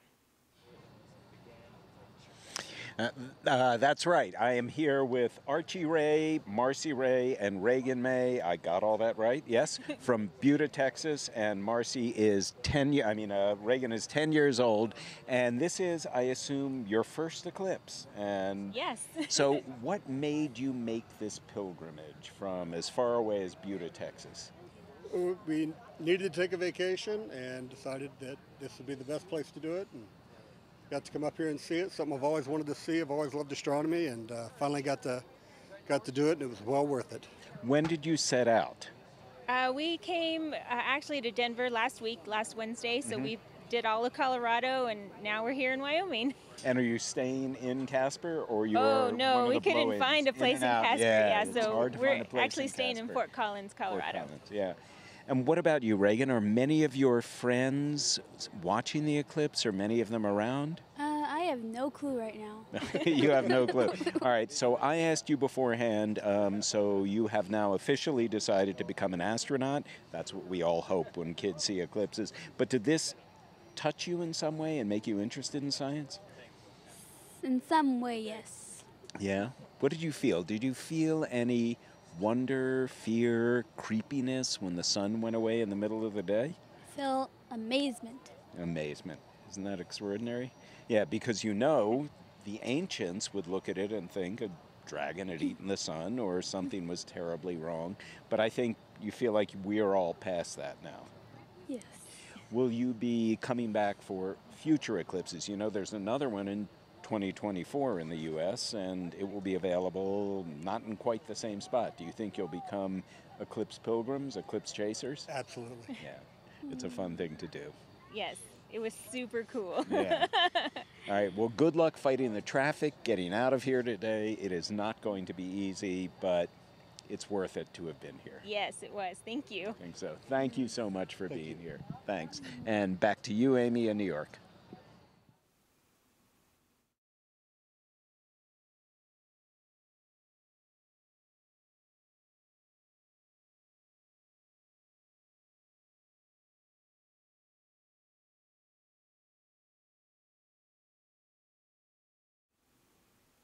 Thanks, Jeff, for that. It's amazing to hear what people on the ground in Casper are saying about the experience, particularly kids and people who've never seen an eclipse before. This is, of course, our shot of the sun in Casper. We are back with this shot.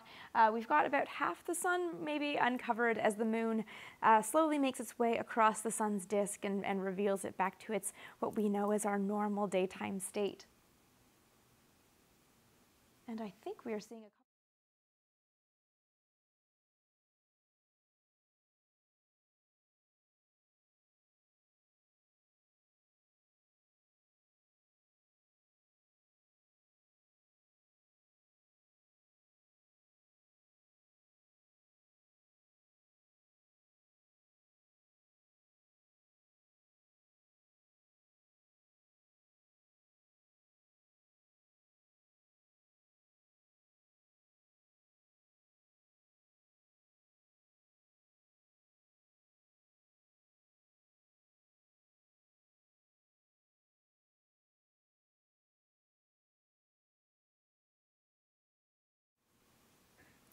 course, as the sun continues, or as the moon continues to move across the sun, the eclipse is moving across the country. And one of the towns that is going to be seeing totality still later today is Hopkinsville. And as we saw earlier, this is a town that was visited by some interesting little green men uh, just over 50 years ago to the day. So let's revisit that and see just what's going on in Hopkinsville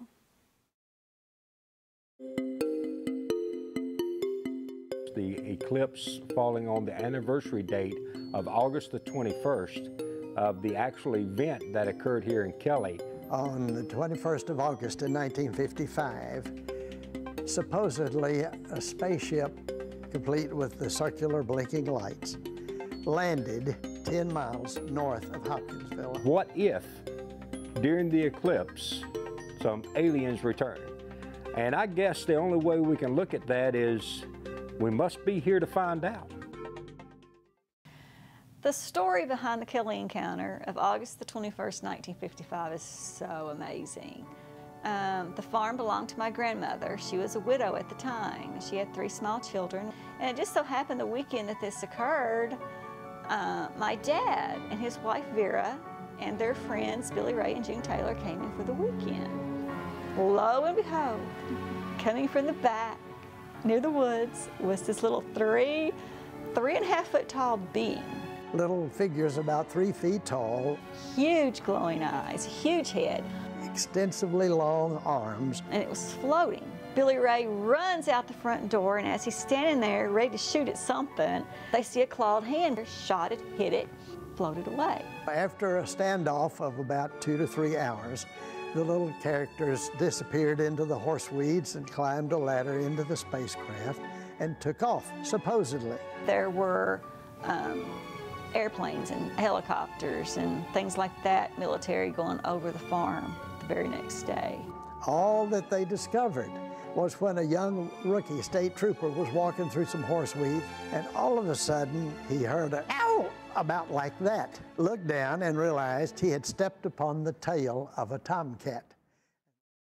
You know, I've been asked many times if I believe if aliens really existed. I don't believe that in our humanistic mind that we can comprehend all that God may have created. But for this historian, the responsibility is to review the evidence and come to a logical conclusion. And comments were made that they were probably dipping stoutly into the panther juice. Yes, I believe something happened that night, and something happened to that family that night. They saw something. I think of the fact that the solar eclipse event occurs on the same calendar day, August 21st, is happenstance. Some people would say that there's an alignment of features that would bring this to be. And maybe so. Again, whom am I to say?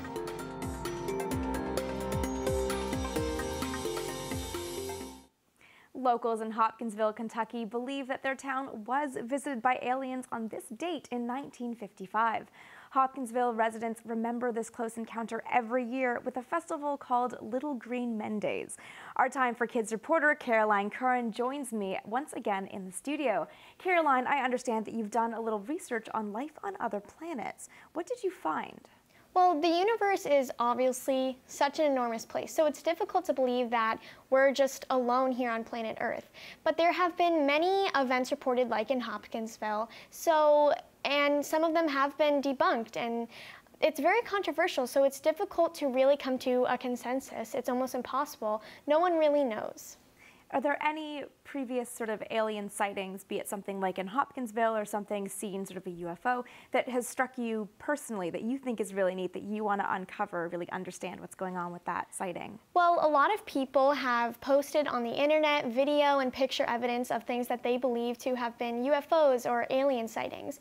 But a lot of people have tried to debunk these and said that it wasn't a UFO, it wasn't aliens, it was something else. And so it's really difficult to know because the people who were there claimed that it was aliens, but other people are very, very skeptical about it. Right, of course. So well, let's move away from maybe the skeptical UFO side of things and talk about the potential of really finding life on other planets. What have you have you gone into sort of or studied anything about what might where might life might be on other system or other wow planets or moons in our solar system or maybe even other solar systems? Well, like I said, the universe is obviously a very enormous place, so it's difficult to think, are we alone? And a lot of people don't think we would be alone, and the likelihood of just it being only us. So a lot of people speculate that in another solar system, there might be a planet that can be habitable. Right. Do you hope to find aliens someday? Well, I think it would be very interesting and to know that and to be able to possibly, you know, discover that, communicate with people, and it would be so awesome to figure that out one day. It would be totally awesome. I also kind of hope we find some kind of life. All right, uh, speaking of life, we are going to go back to Casper, Wyoming and rejoin Jeff and our time photographer who's going to, I think, tell us a little bit more about how he was able to capture that beautiful video stream of totality for us. Uh, Jeff, are you there? Yes, we are here, and I'm here again with Antoine Roubaud, uh, which I am sure I still mispronounce. Um, and I will say that of all of the voices I heard during Totality, the one that struck me most was Antoine whooping at some of the images he got. And I actually was willing to draw my eyes away from the sky for a moment to look at what he had on screen. So tell me a little bit about what you captured and how you captured it. Yeah, yeah, absolutely, Jeff. It was uh, really breathtaking. So I was really focused on uh, changing the exposure because you know the sun is very bright, and then suddenly it becomes really, really dark. So we want to see the corona around the sun. So we had a few seconds to do that, and then when it was on, then appears out of nowhere, kind of a fire balls on sides and the top of the sun. Right. And I was not expecting that because we cannot see it otherwise. Sure. And I noticed that both before and after, you had some sunspot images. You had a fair bit of sun solar activity. Tell me about that a little. Yeah, those sunspots are really fascinating. It's a difference of temperature of with the surface of the sun, and some of them have the size of the Earth. Right. So, and when I looked at the eclipse itself, because you know when we locked the exposure, I could enjoy it a little bit. Yeah. I, I became very emotional. yeah. You know, uh, it was very very special and remind me a little bit of what I was reading cartoons I was reading when I was a kid, uh, called Tintin on the Moon, and yeah, I really felt like I was there with with him. Yeah. Yeah, Tintin in Wyoming. Now, when I take a picture on my iPhone, the most I can do afterwards is go into the little edit function and make it a little greener or a little bluer or a little mm, more cropped. Obviously, the work you you have ahead of you now with these images is much more elaborate. So, what kind of processing will you do of the eclipse images you have today to get the very most out of them, both scientifically and aesthetically? Well, the thing is, I have mostly a movie, actually, in high definition movie recorded because we are broadcasting live on fortime.com. So um, I need to look through the sequence again and uh, boost the signal, look at how I can extract more information uh, out of those, um, you know, fireballs and, and other corona to maximize basically what we see uh, around the sun itself.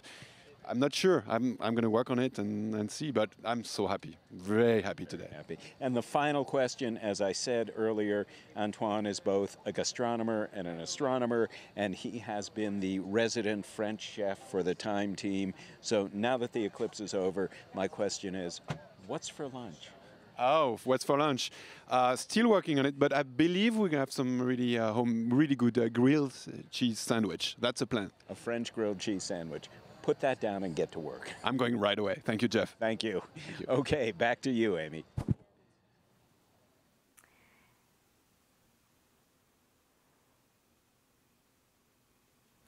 And here is a look at what we saw earlier of Antoine's work. This is his stunning shot during totality. Uh, you can see the solar corona is this kind of fuzzy layer around the disk of the moon that is completely blocking out the sun. And we can see sort of uh, a pink spot right on the right-hand side and sort of on the lower right-hand corner that um, looking back at it again still strike me they might be uh, uh some kind of flare. It's really amazing that this is this was just captured from our site on the ground in Casper. It's so amazingly beautiful.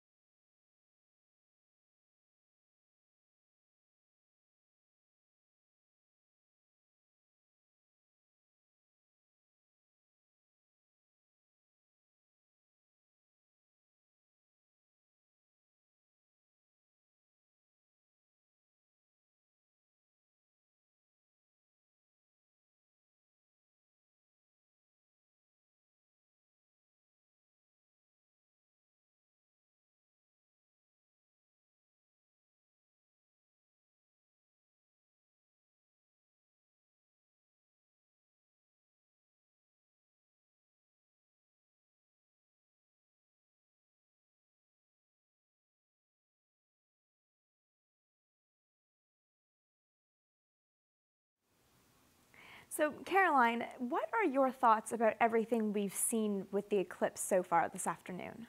The solar eclipse, as we've said, is obviously such an amazing event. And so to see families out there with their kids is really a great thing because I think it's important to get kids interested in STEM and to be able to see that, which is really a once in a lifetime opportunity. It's so great to see these families out there and enjoying the event and reporting on it definitely inspiring. Um, speaking of which, I am super excited to invite five-time shuttle astronaut back into our conversation. Marsha, uh, meet Caroline digitally. nice to meet you. Nice to meet you too. So Caroline, do you have any questions for Marsha about either the eclipse or anything you just said that you were excited to see kids excited about STEM content? What would you like to ask an astronaut? So as a former astronaut, what piece of advice do you have for kids and teens who are interested in pursuing a career in STEM and are inspired by the solar eclipse? That's a great question. What I tell uh, students and young people is do something in a field that you really like, um, a science or technology field, and just pick something that you love or you think you will love and excel in it, do well in it, and from there you can go anywhere. What inspired you to pursue a career in STEM? When I was 10 years old, in the United States, Alan Shepard made the first suborbital flight um, in the Mercury program. And remember, this is back in the 60s, and so on our black and white televisions, we watched every time there was a rocket launch and every time somebody went to space, and ultimately when we got into the moon program, every time there was a moon landing. And my generation of astronauts was captivated as children by that. And I thought, I want to do that. Well, that was not a career choice for children of the 60s, particularly women of the 60s, but I thought eventually they'll get over that, and, and on I went. Uh, astronauts were men, so that was out. Astronauts were military pilots, so I learned to fly, actually, before I learned to drive. They were engineers. So when I got out of high school, I went to college and got an engineering degree. What and the rest it- is kind of history. What was it like being a female astronaut in a mostly male dominated career?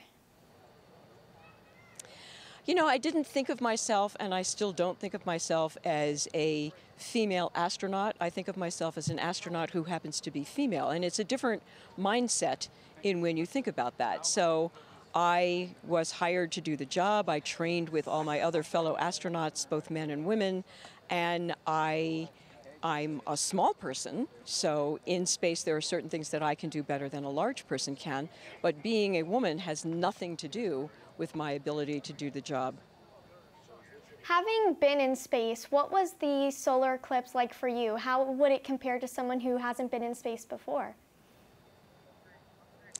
You know, I don't know that there's any way that I can say my experience was different. If I if I feel if the vibe of the crowd here during the eclipse, it was astounded. Totally astounded. And and I felt the same way. And whether I had been to space certainly didn't didn't uh, diminish the experience in any way. So, Marsha, if I may ask you a question, um, this is something that I ask every astronaut I have a chance to meet um, because I can't get myself in the headscape of being in space and not freaking out. It's sort of like you know the fear of deep water. So I want to know if you were on an EVA or even just kind of looking out the window, if you ever had that moment when you sort of looked down at the Earth and realized, oh my God, I'm going 17 and a half thousand miles an hour and I'm 250 miles above Earth and air that I can breathe. Did you ever have that moment of, what am I doing right now? Um, no, I'll tell you the moment that I did have. Um, I had seen pictures that people had taken from space. I had, of course, spoken to people, everybody who had been to space. I was training with them, I was working with them every day. And so going to space was more of a technical thing for me, I thought, until I eventually got to orbit and looked down on the planet. And then there's a little voice in the back of your head that says, we're not in Kansas anymore, Toto. You know, it's the whole idea that I am off the planet. I used to leave a recording on my phone when I left that said, Hi, it's Marsha. I'm off the planet right now, but leave a message and I'll call you back. And there'd be hundreds of people who called me and didn't leave a message just to hear my recording because I was off the planet. Who says that? Off the planet. That's absolutely wild. I mean, it has to have been an incredible experience. Um, and of course, like you said, it's it's a human thing. You're you're training and it's technical, but then you have that human moment. Is there one sort of human moment in either in your training or in space that sort of stands out as ultimate? Yes, it's technical, but ultimately we're just people doing an amazing thing. I, I think every astronaut probably has that moment where they realize they are in space. Um, on my first flight, um, I was sitting, I was on the flight deck and I was sitting next to another first time flyer. And we got to orbit and the engines quit and, and everything was working fine. And we the, we went to orbit in the space shuttle upside down, basically, so that the antennas could still talk to the ground. And so when you look up overhead, the Earth was below you. And my crew member next to me was, you know, sort of getting the whole feel of suddenly being weightless and, you know, swallowing a little bit like this. And I nudged him and I said, Look up. And he looks up, and here is this black of space and blue of the planet with the white on it, and, and really no other colors there. And he just said, Oh my. And that is a moment, you know, when you realize you have actually done this thing. That's amazing, amazing. And it's so, I have to say, every, no matter how many times I get to talk to an astronaut, it's always a huge thrill. So thank you for taking the time. Do you have anything else, Caroline? Just thank you so much. All right, awesome. Thank you. No, And, my um, pleasure to talk with you. Great. So I think uh, we might actually have a chance to see what's going on with eclipse feeds in other parts of the country. Like we've said, the eclipse is moving slowly from the uh, the west coast to the east coast. Um, here we have a I can't see what city this is. Oh, this is in Illinois, um, and this is a white light camera from NASA, Carbondale, Illinois. So this is a NASA feed um, in white light. Um, so it's not going to show you as much detail, um, but we see that we are getting close to, I believe we're getting close to totality in Carbondale. Um, so we, again, we're seeing other parts of the country, other people in other parts of the country, we are still seeing this beautiful um, crescent sun that is not something we're used to seeing.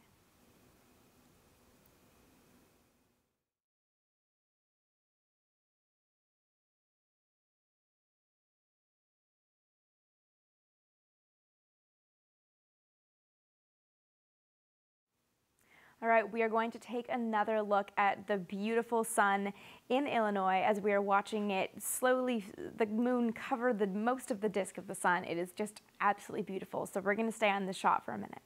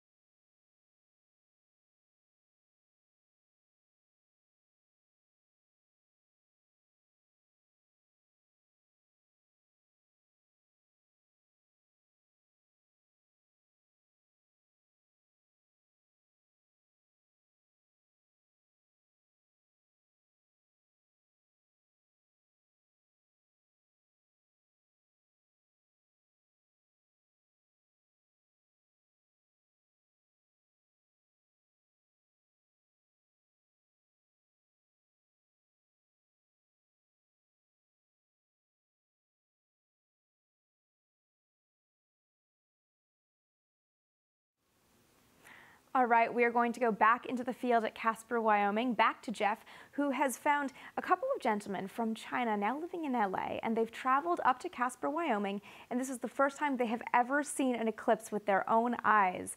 Jeff. Yes, uh, you are right. I am here with Ocean, who was born in Harbin, the city of Harbin, and Michael, who was born in Shanghai, and you were living in LA now, and you are in Detroit. Detroit. And all right, so you guys have been friends for a while. You knew there was an eclipse coming. What brought you here? How did you? How long have you been coordinating this idea? And how'd you get here? Okay. Uh, Go ahead. okay. All right. Well, I have an idea. It's a couple months early, actually. Um, I watch. Uh, it's online, actually. Google online. Um, I find uh, there's science magazine. Um, say there's a very hard, um, really like uh, 395 years of time Mm-hmm. in a local where you stay country. You can see uh, the eclipse, uh, in your uh, town. Right. So when th- I just have an idea at that time. I think about it. I probably fly to Mi- uh, Michigan somewhere or Illinois because my friends there. So I want to nearby, maybe Missouri somewhere. I didn't check detail, but later on, uh, more close to today. So the last month, I feel more serious and check more things. Uh, we make a decision really like uh, seven days early. And you said you flew into Denver and then drove up here. Yeah. Yeah. Yeah. And are you are you just sleeping in your car? Were you able Oh to no, get a, we you have we, a we booked three different hotels in three different uh, cities Very good, because thank the, the closer to the uh, Casper, Yeah. the most crowded hotel is. So we actually booked in the yeah. up north in the Buffalo of Wyoming. Yeah. Last night. Not yeah. Yes. Not Buffalo. No, New no, York. no, in New That York. would have been a bigger schlep. No. To get here. Really, of course. Yeah. So you both have now. You are veterans of having seen an eclipse. There aren't. You know, not everyone gets to say that. Luckily, what was the experience like for you? Well, it's amazing actually. Uh, it's unbelievable, unforgettable. Impression very strong. Even though I know I check on YouTube and online videos how it looks like, you know, the people showing different pictures or the clips, footage, things, but still cannot be the real things actually. Um, this is my second time. The first time uh, when I was in elementary school, um, fourth grade, grade four. Um, that is the partial. And where Uh, was that? It's in my town, Har- Harbin In City. Harbin, Yeah. yeah. Uh, it's a partial actually. Yeah. Um, I heard about that's amazing for um, the circle one, ring one, Yeah, or the annular. Yeah, the, totally. Yeah. Yeah. Uh, but actually cannot feel like today. It's Yeah. it's unbelievable. Totally Especially it's gradually you know disappeared. It's uh, yeah wow. And what about you? Have you seen one? In Yeah, like uh, my friend Ocean, I saw once when I was in elementary school back in Uh-huh. Shanghai, but that was uh, the annual one. That was annual. Yeah, this Yeah. was really my first time. Right. And it was really once in in lifetime. Yeah. It was just speechless. Yeah. Earlier, the CCTV here Uh-huh. was doing the interview with us as well. At that moment, I just I couldn't say anything. I know. Isn't that? It's absolutely true. You're affected at a very emotional level, and you sort of need time to come back down from it. Yeah. Wow. Okay, so now the question with eclipses is once you get bitten by the bug, then you need a constant eclipse fix. Do you think you you guys are going to become eclipse chasers? Uh, I think it will be fine. Yeah. You know, you think so? Yeah. Yeah. Maybe once is good. Right. Yeah. All right. Well, thank you guys very much. I hope you have a great, easy trip back, and it's a pleasure getting to chat with Thank you. you. Thank you. Thank you so much. You guys have the wonderful day. Thank you so much, and back to you, Amy. Great. Thanks so much, Jeff. It's amazing. The more people you talk to and kind of capture that excitement, the more jealous I am that I didn't get to be there too. Um, and speaking of being jealous of somebody being in the eclipse totality path, where I am not, uh, we are going to uh, Carbondale, Illinois, where we have a time editor, uh, Rebecca Katzman, on the phone. She's traveled from New York to go to cloudy Carbondale. So we're going to catch up with Rebecca and see what's going on. Uh, Rebecca, do we have you on the phone? Yes. Hey, how's it going? Good. How are things in Carbondale? Okay, so totality ended maybe 10, 15 minutes ago, and the experience itself was just unreal. It was amazing. Um, the crazy thing about it was just the weather. So it's been incredibly hot and humid here, and hardly a cloud in the sky all day. And then maybe 20 minutes or so before totality, um, a huge dark cloud went right in front of the sun to the point that you couldn't even see a thing through your eclipse glasses. And then, um, like miraculously, when actually totality hit, um, there was about 10 seconds in the beginning and 10 seconds in the very end where you could see um, where you could see what was going on. Was it cloudy other than that? We just got a bit of a feed from Carbondale and we couldn't really see anything because it was sort of there, wispy clouds, and then, right, of course, we're looking through a solar filter, it just went black because the clouds covered through the sun. This is, this is our current shot of Carbondale that we've got up on the screen and it's just black because, of course, we're looking through a solar filter that can't see any scattered sunlight, just black. So, um, yeah. Did that dampen anybody's excitement? I mean, was there kind of nerves or did it how how was You it know what? the weather and everyone's mood? So I spoke to a few people after um, that happened, and um, the general sense I'm getting is that people were definitely bummed and disappointed that it was just only that um, short, short, tiny um, glimpse of totality. But um, the just what I've been hearing is that people are just super super i mean the energy was still great and people like right when totality hit people started doing the wave.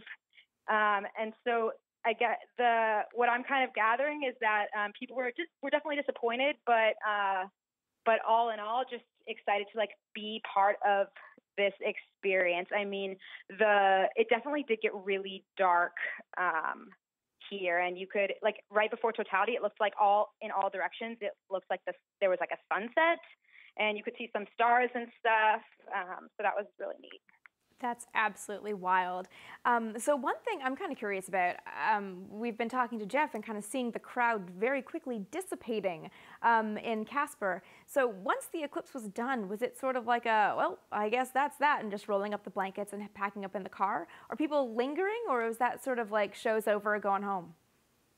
You know, there there definitely is still a scattering of people that are lingering, but it did seem like people are just kind of shoveling out of the stadium um, after the eclipse ended. I wonder if that might have had to do with just like traffic reports and reports, um, just that it's going to be, it would be tough to get in and it's going to be tough to get out just because of the size of the town. But Right. Did you, how was the trip in and how do you expect the trip out is going to be for you? Did you hit a lot of traffic? I saw pictures, just my friends who have gone to various locations, they were just backed up. Someone said that, um, I forget what town he was in, but that this tiny little town in the path of totality had more traffic than downtown LA. Um, did you experience any like insane throngs of people or was it eh, sort of okay? So for me, the trip in was actually just completely fine um, because we we were worried um, about what the traffic could be like. So we left at like 4 a.m. and hardly hit another car. Um, but and I think leaving will be okay too. Um, I don't have an exact. I didn't get the exact number of how many people ended up showing up uh, yet to Carbondale, but I think my hunch is that it's around what they expected, or maybe even slightly lower. But I'm not sure of that yet. Right. So my final question, um, since you were there on the ground, did you have a sense of how many sort of, sort of viewers were families that had brought their kids to see it? Was there a, a, lot of children there, or was it mostly sort of grown people that are lifelong space nerds? I'm trying to figure out how um, many I, people we converted into loving science today. a ton, a ton of kids here. Awesome. A lot of, actually, in a lot of instances, kids who are the space nerds who brought their parents along. Um, so definitely lots of kids here, lots of young people here and yeah. Awesome. Okay, well, I'm not sure if we still have, still have Rebecca on the phone. Rebecca, did we lose you?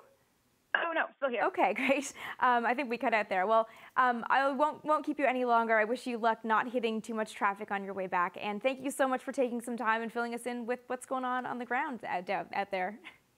Thank you. All right, so we are going to take another look at what's going on in Wyoming. Of course, we've had totality. We are just, oh, we're just seeing the moon leaving the disk of the sun now. It's almost completely over. That's so sad. Um, and we can still see some really neat sunspots right in the middle.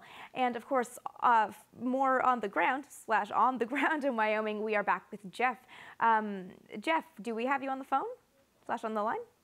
Uh, I am I am here, yes, and I'm here with uh, Benny Dittbrenner, 16 years old, and I won't say Benny has uh, powerful friends, but the gentleman behind the camera uh, is named Ian Dittbrenner, and he keeps calling him Dad, so I'm going to assume they know each other. Um, in any event, Benny has been more than just a family member here to spectate uh, you've done a lot of great work today. You've done a lot of photography work. You were here yesterday during our windstorm and you caught a lot of debris. So thank you for your service. Um, and can you tell us a little bit about the work you're doing with your, you, the photographic work you've done today? Well, I um, set up a tripod a couple hours before the eclipse. Um, I, had, I have two adapters here because it's a weird setup. Um, it's an 80 to 400 um, on a Sony a6300, and I um, put the uh, I borrowed an uh, ND14 filter from uh, one of the crew members here, and set it up on my tripod and, and waited until the eclipse. so, for someone like me, for whom photography means hit the camera icon on my iPhone and then push and don't screw it up, mm-hmm. um, that is is a little above my pay grade, but tell me what you're getting. Tell me the quality of images you think you're getting and and how you're going to process these now that you have them.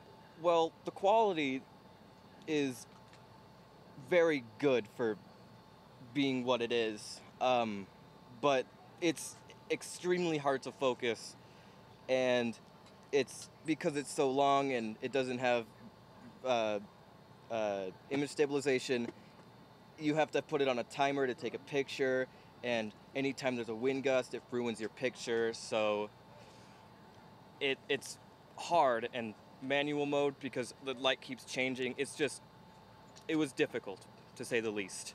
But it was worth it, I imagine, to be Completely here worth for it. We took an RV two days to get here. A lot of a lot of hardship. It was completely worth it in the end. Yeah. And do you think you will? Uh, this may have given you the space bug, not just to photograph eclipses, but other celestial phenomena. Do you think you'll be out on a lot of dark nights now? Yes, I am extremely interested in astronomy, not astrology, astronomy. Um, and this was a great opportunity for me to get my fill on an eclipse. Right. And Were you prepared emotionally for what you saw today? Did you have a sense of what it was going to be like? I was not emotionally prepared. I had a sense of what it was going to be like from videos and gifs I've seen before, but that didn't compare to anything in, to see it in real life. It was emotionally, I was emotionally unstable. I, I didn't know whether to feel happy or scared or, or some other emotion that I've never actually felt before.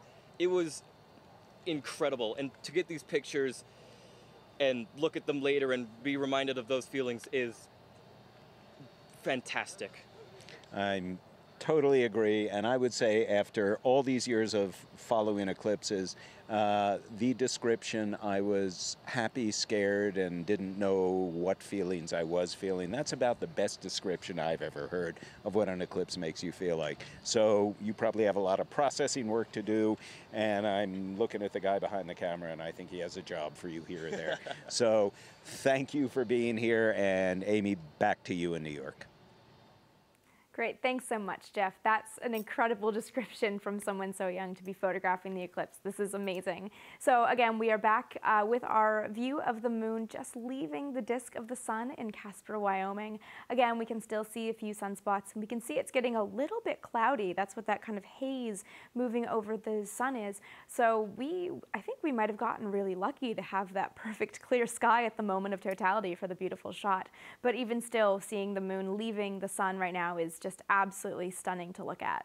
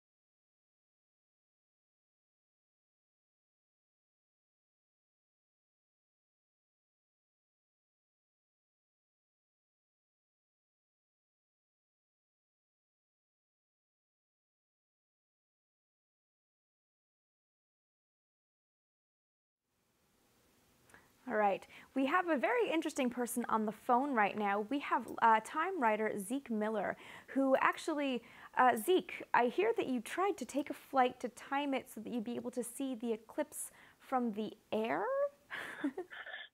Yeah, no, we we we we worked on that uh, planning, but then we realized, you know, it's kind of given the, given the, high wing aircraft, we wouldn't be able to see it. So we are on the ground here in uh, Greenville, uh, South Carolina, Greenville downtown airport, where there are probably about 200 air, uh, aircraft that have flown in just to see the eclipse. We just got out of the totality about Wow. five six minutes ago. So you were able to see it. Did you see it in the air at all, or did you see it from the ground once you landed? Uh, we saw it from the ground once we landed. Uh, we're about to take off now. If you in the background, you might hear some of the uh, uh, propellers warming up on a, on, a, on the aircraft around me. Uh, we're going to be uh, taking off with it behind us as we fly back to Washington. Oh wait, did you did you only fly into South Carolina to see the eclipse from a plane, and now you're flying right back to DC? Yep, uh, I'm going back to my day job tonight, covering the White House.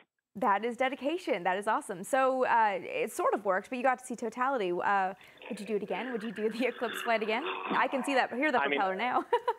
Oh yeah, no, I, I would I, I would do it in a heartbeat. It was one of the most amazing things I've ever seen. I mean, you know, look, at it, it- we were able to get some some, some pretty great photos, and uh, just you know, it, it was astonishing just how with even the tiniest sliver of sunlight remaining, it, it looked like daylight.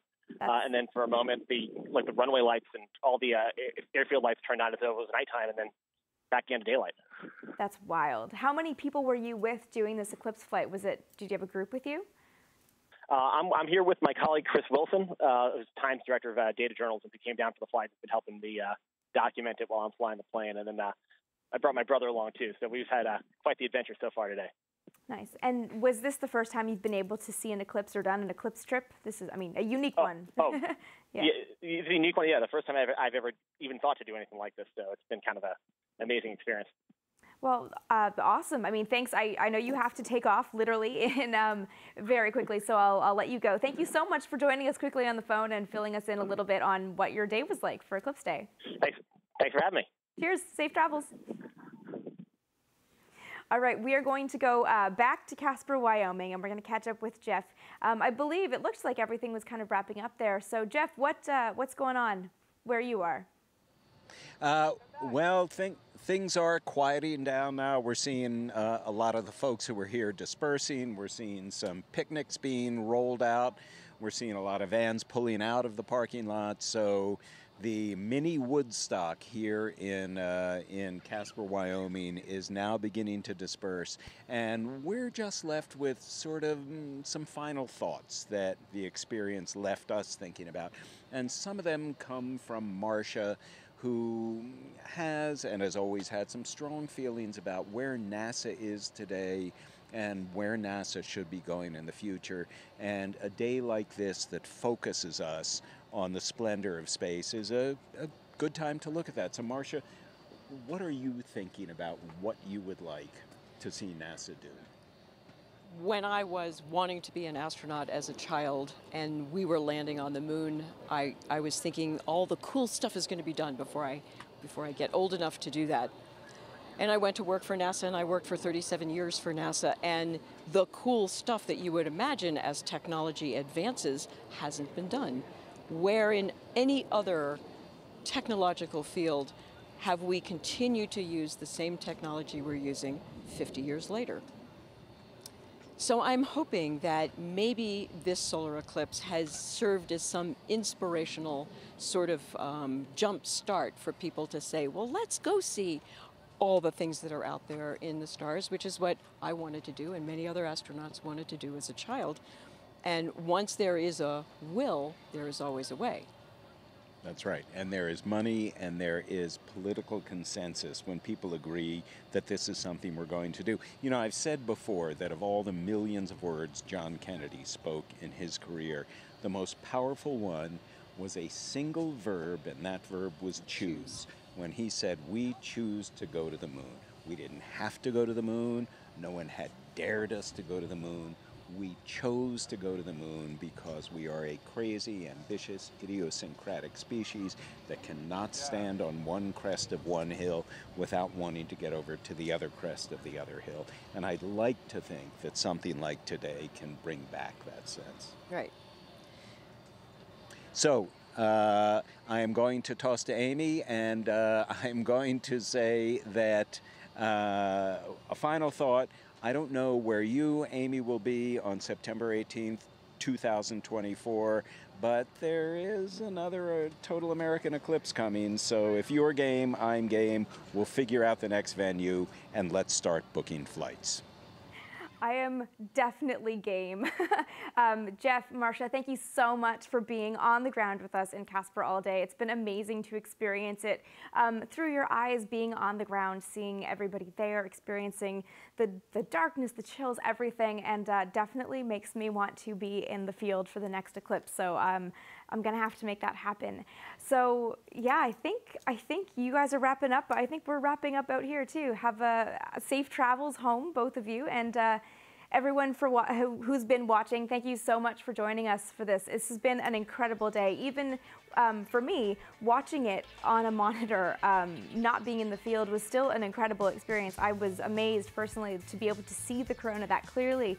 Um, seeing pictures for some reason feels different than seeing a live video feed you know you can't you can't fake that and, and you can't enhance it um, live and being able to see that those spots that are flares just pop up. I mean it's really really incredible stuff. So on, on that note we're going to end we're going to look at that shot of totality from Casper Wyoming one last time. Again thank you everyone for joining us and spending the last three hours with us as we as we've crossed the country and spoken to people around the country um, looking at the Great American Solar Eclipse